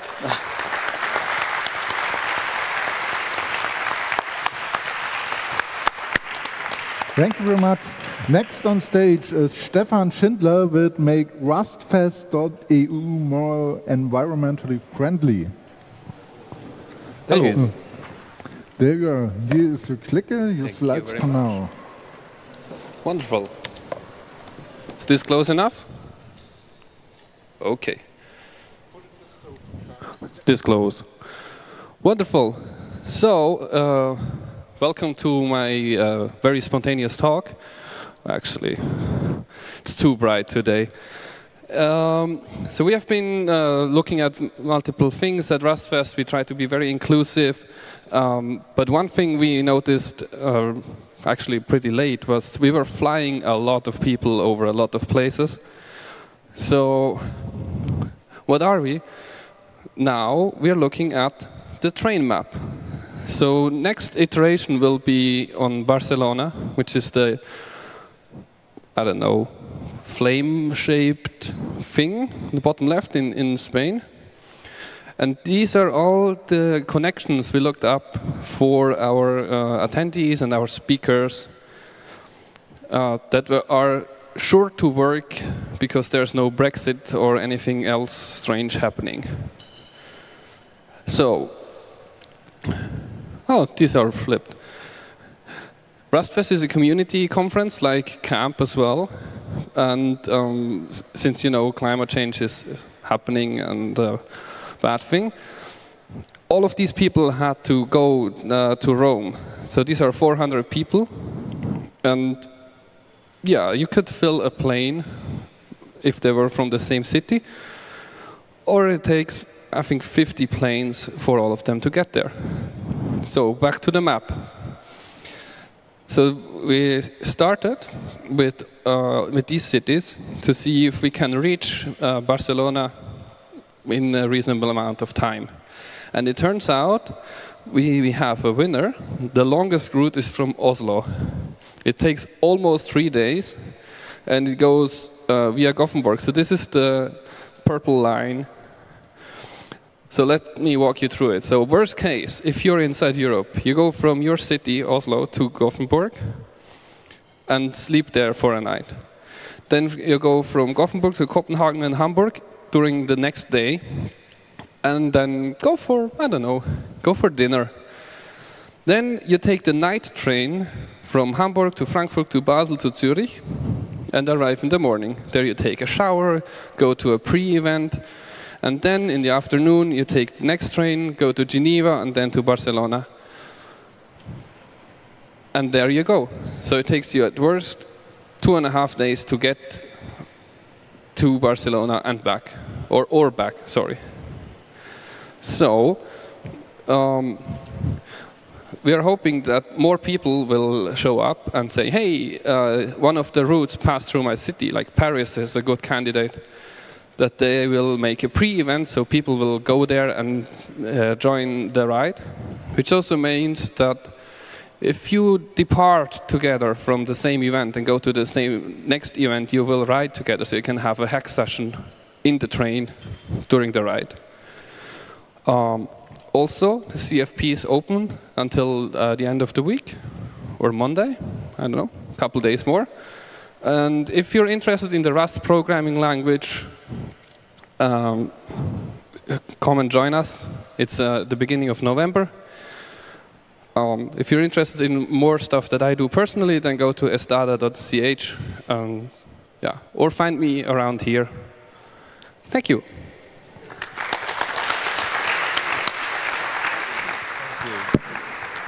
Thank you. Thank you very much. Um, the next talk is about Open Laser tag. It's held by Florian. We are really looking forward to It's looking promising.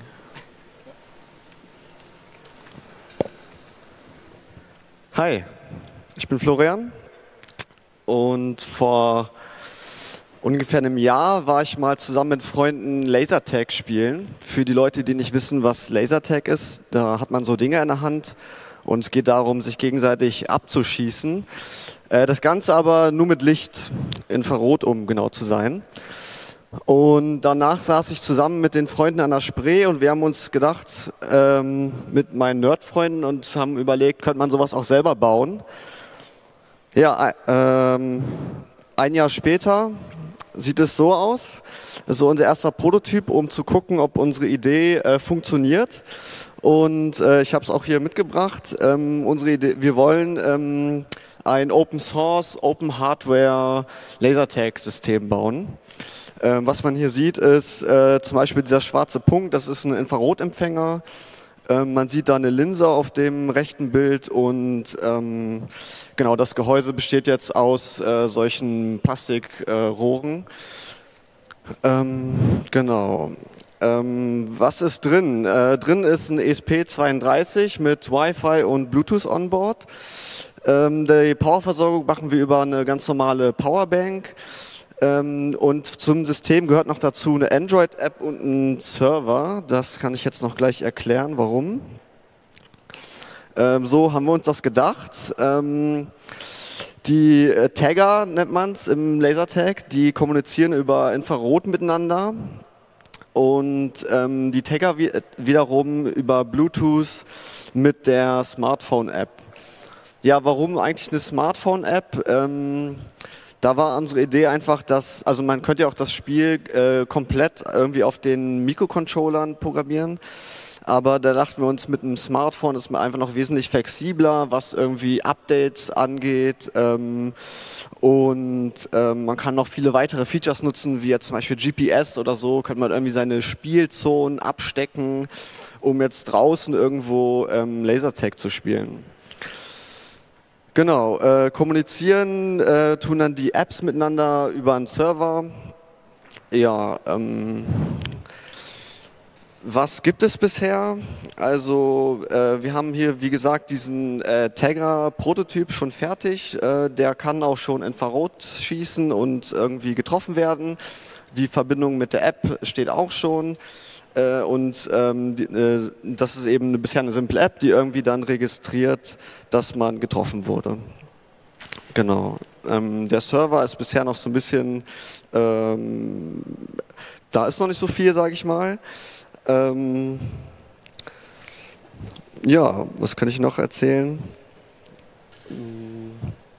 Genau, unser Ziel war es noch, irgendwie diese Tagger möglichst günstig zu machen dass man irgendwie davon auch mal 20 äh, oder 10 bauen kann und dann mit seinen fünf Freunden äh, einfach im Park draußen spielen kann. Ja, falls ihr Lust habt, ähm, irgendwie mitzumachen oder das einfach verfolgen wollt, ähm, hier habt ihr ein paar Links zu GitHub oder Twitter zu mir. Ähm, sprecht mich an. So yeah, if you didn't understand anything because you're not speaking German, we are building an open source laser tag system speak to me if you are interested in it. Thank you.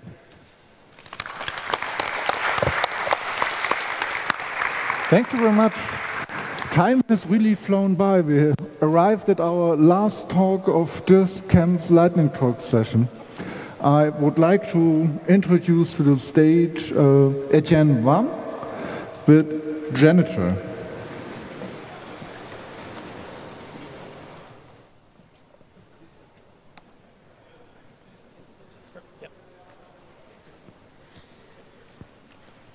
So, where is there a tweet sweeper on the screen? Hi. So I wanted to talk about Janitor, which is a side project I've been working on with friends for some years now.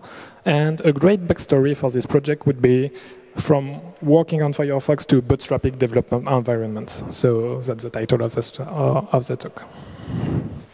So we are a small team working on this side project. Uh, the main developer of this project is Jan Keromnes, uh, he worked at Mozilla when he first created the project. He was uh, working on developer tools for Firefox, and then he moved to Typefox to work on Gitpod, an IDE for GitHub. And I joined, uh, I joined on the ride for this project. I'm a sysadmin for Janitor, and right now I work for Defora Networks, which is an IT security company based in Berlin, and I also worked for a cyber security club in France, whose name is Academint. And also there are a lot, um, there are some more people who joined us on the ride and who brought some features, some cool features and some, yeah, some exciting features. So what is Janitor? Why Janitor? Uh, we, we realized while working on Firefox, you can't directly work on Firefox and put some and have some contributions landed directly in Firefox. You need first to download gigabytes of stuff, like cloning the repository and downloading with your package manager some dependencies, configure these dependencies if it's not automatic, automatically done, uh, configure the toolchain, and read some documentation to know about the workflow and so on. And you have to do this again and again if you switch from one devices to another. Um, if you switch from one operating system to another, you will need to maybe learn how it works on your new operating system. And if you are just curious about uh, about uh, learning about some projects, you will need to read documentation for some projects just for basic uh, for basic commands. So with, uh, with Janitor, we wanted to get rid of all of that and to let newcomers and developers focus on coding and landing features. So if you want to have a look right now, it's available at janitor.technology. And because I wanted to play it safe, I'm not doing a live demo. I, will, I have it on slides now. So Janitor, you can create containers to work on projects.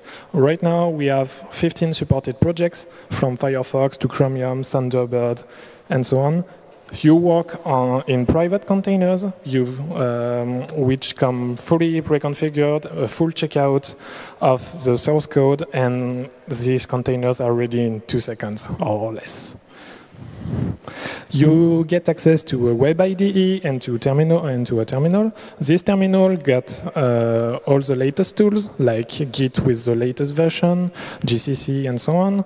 Uh, you get the full checkout, of course, of the source code. You've got some smart helpers to get you running faster than on your local machine, I guess. And you get also sudo access, so if you want to install software in the container, you can. You also get access to web preview if you want to try out some web projects, and you get access also to remote desktop environments if you want to run a just compiled version of Firefox, for example. Uh, basically, how it works behind the scenes, we are we need a Docker file which uh, we're working from a Docker file, a uh, base Docker file, which will be Ubuntu dev, and then from this Docker file, you check out the source code, you install your dependencies, and then that's done. It's, uh, it's ready to be put on janitor.technology. So for this project, what's next? First, we want to update. So we want to update the projects to be much more fresher, and we want to uh, and we want to land some new features. We want also to have some more workflow integration, so you spend less time reading documentation for basic commands and you spend more time reading documentation for complex stuff, which is great. Uh, we want also to add new Docker hosts to the cluster, so we can welcome you know, more people and more projects.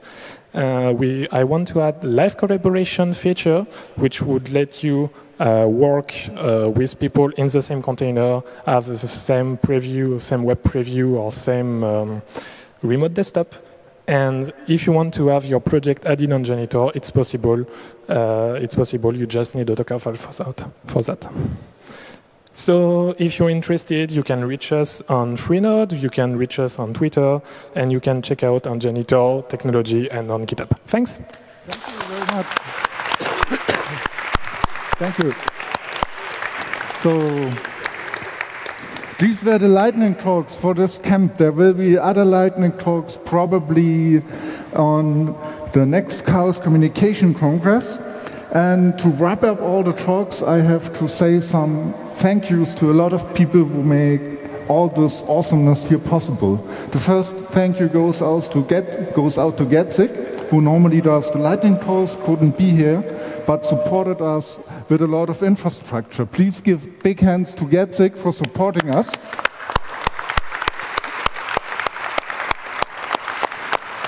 And of course, all this here would not be possible without so many angels supporting us the translation angels, the stage managers, the heralds, the video angels, and many, many others. And last but not least, a big thank you to Honky who helped me here on stage. Thank you so much, all of you.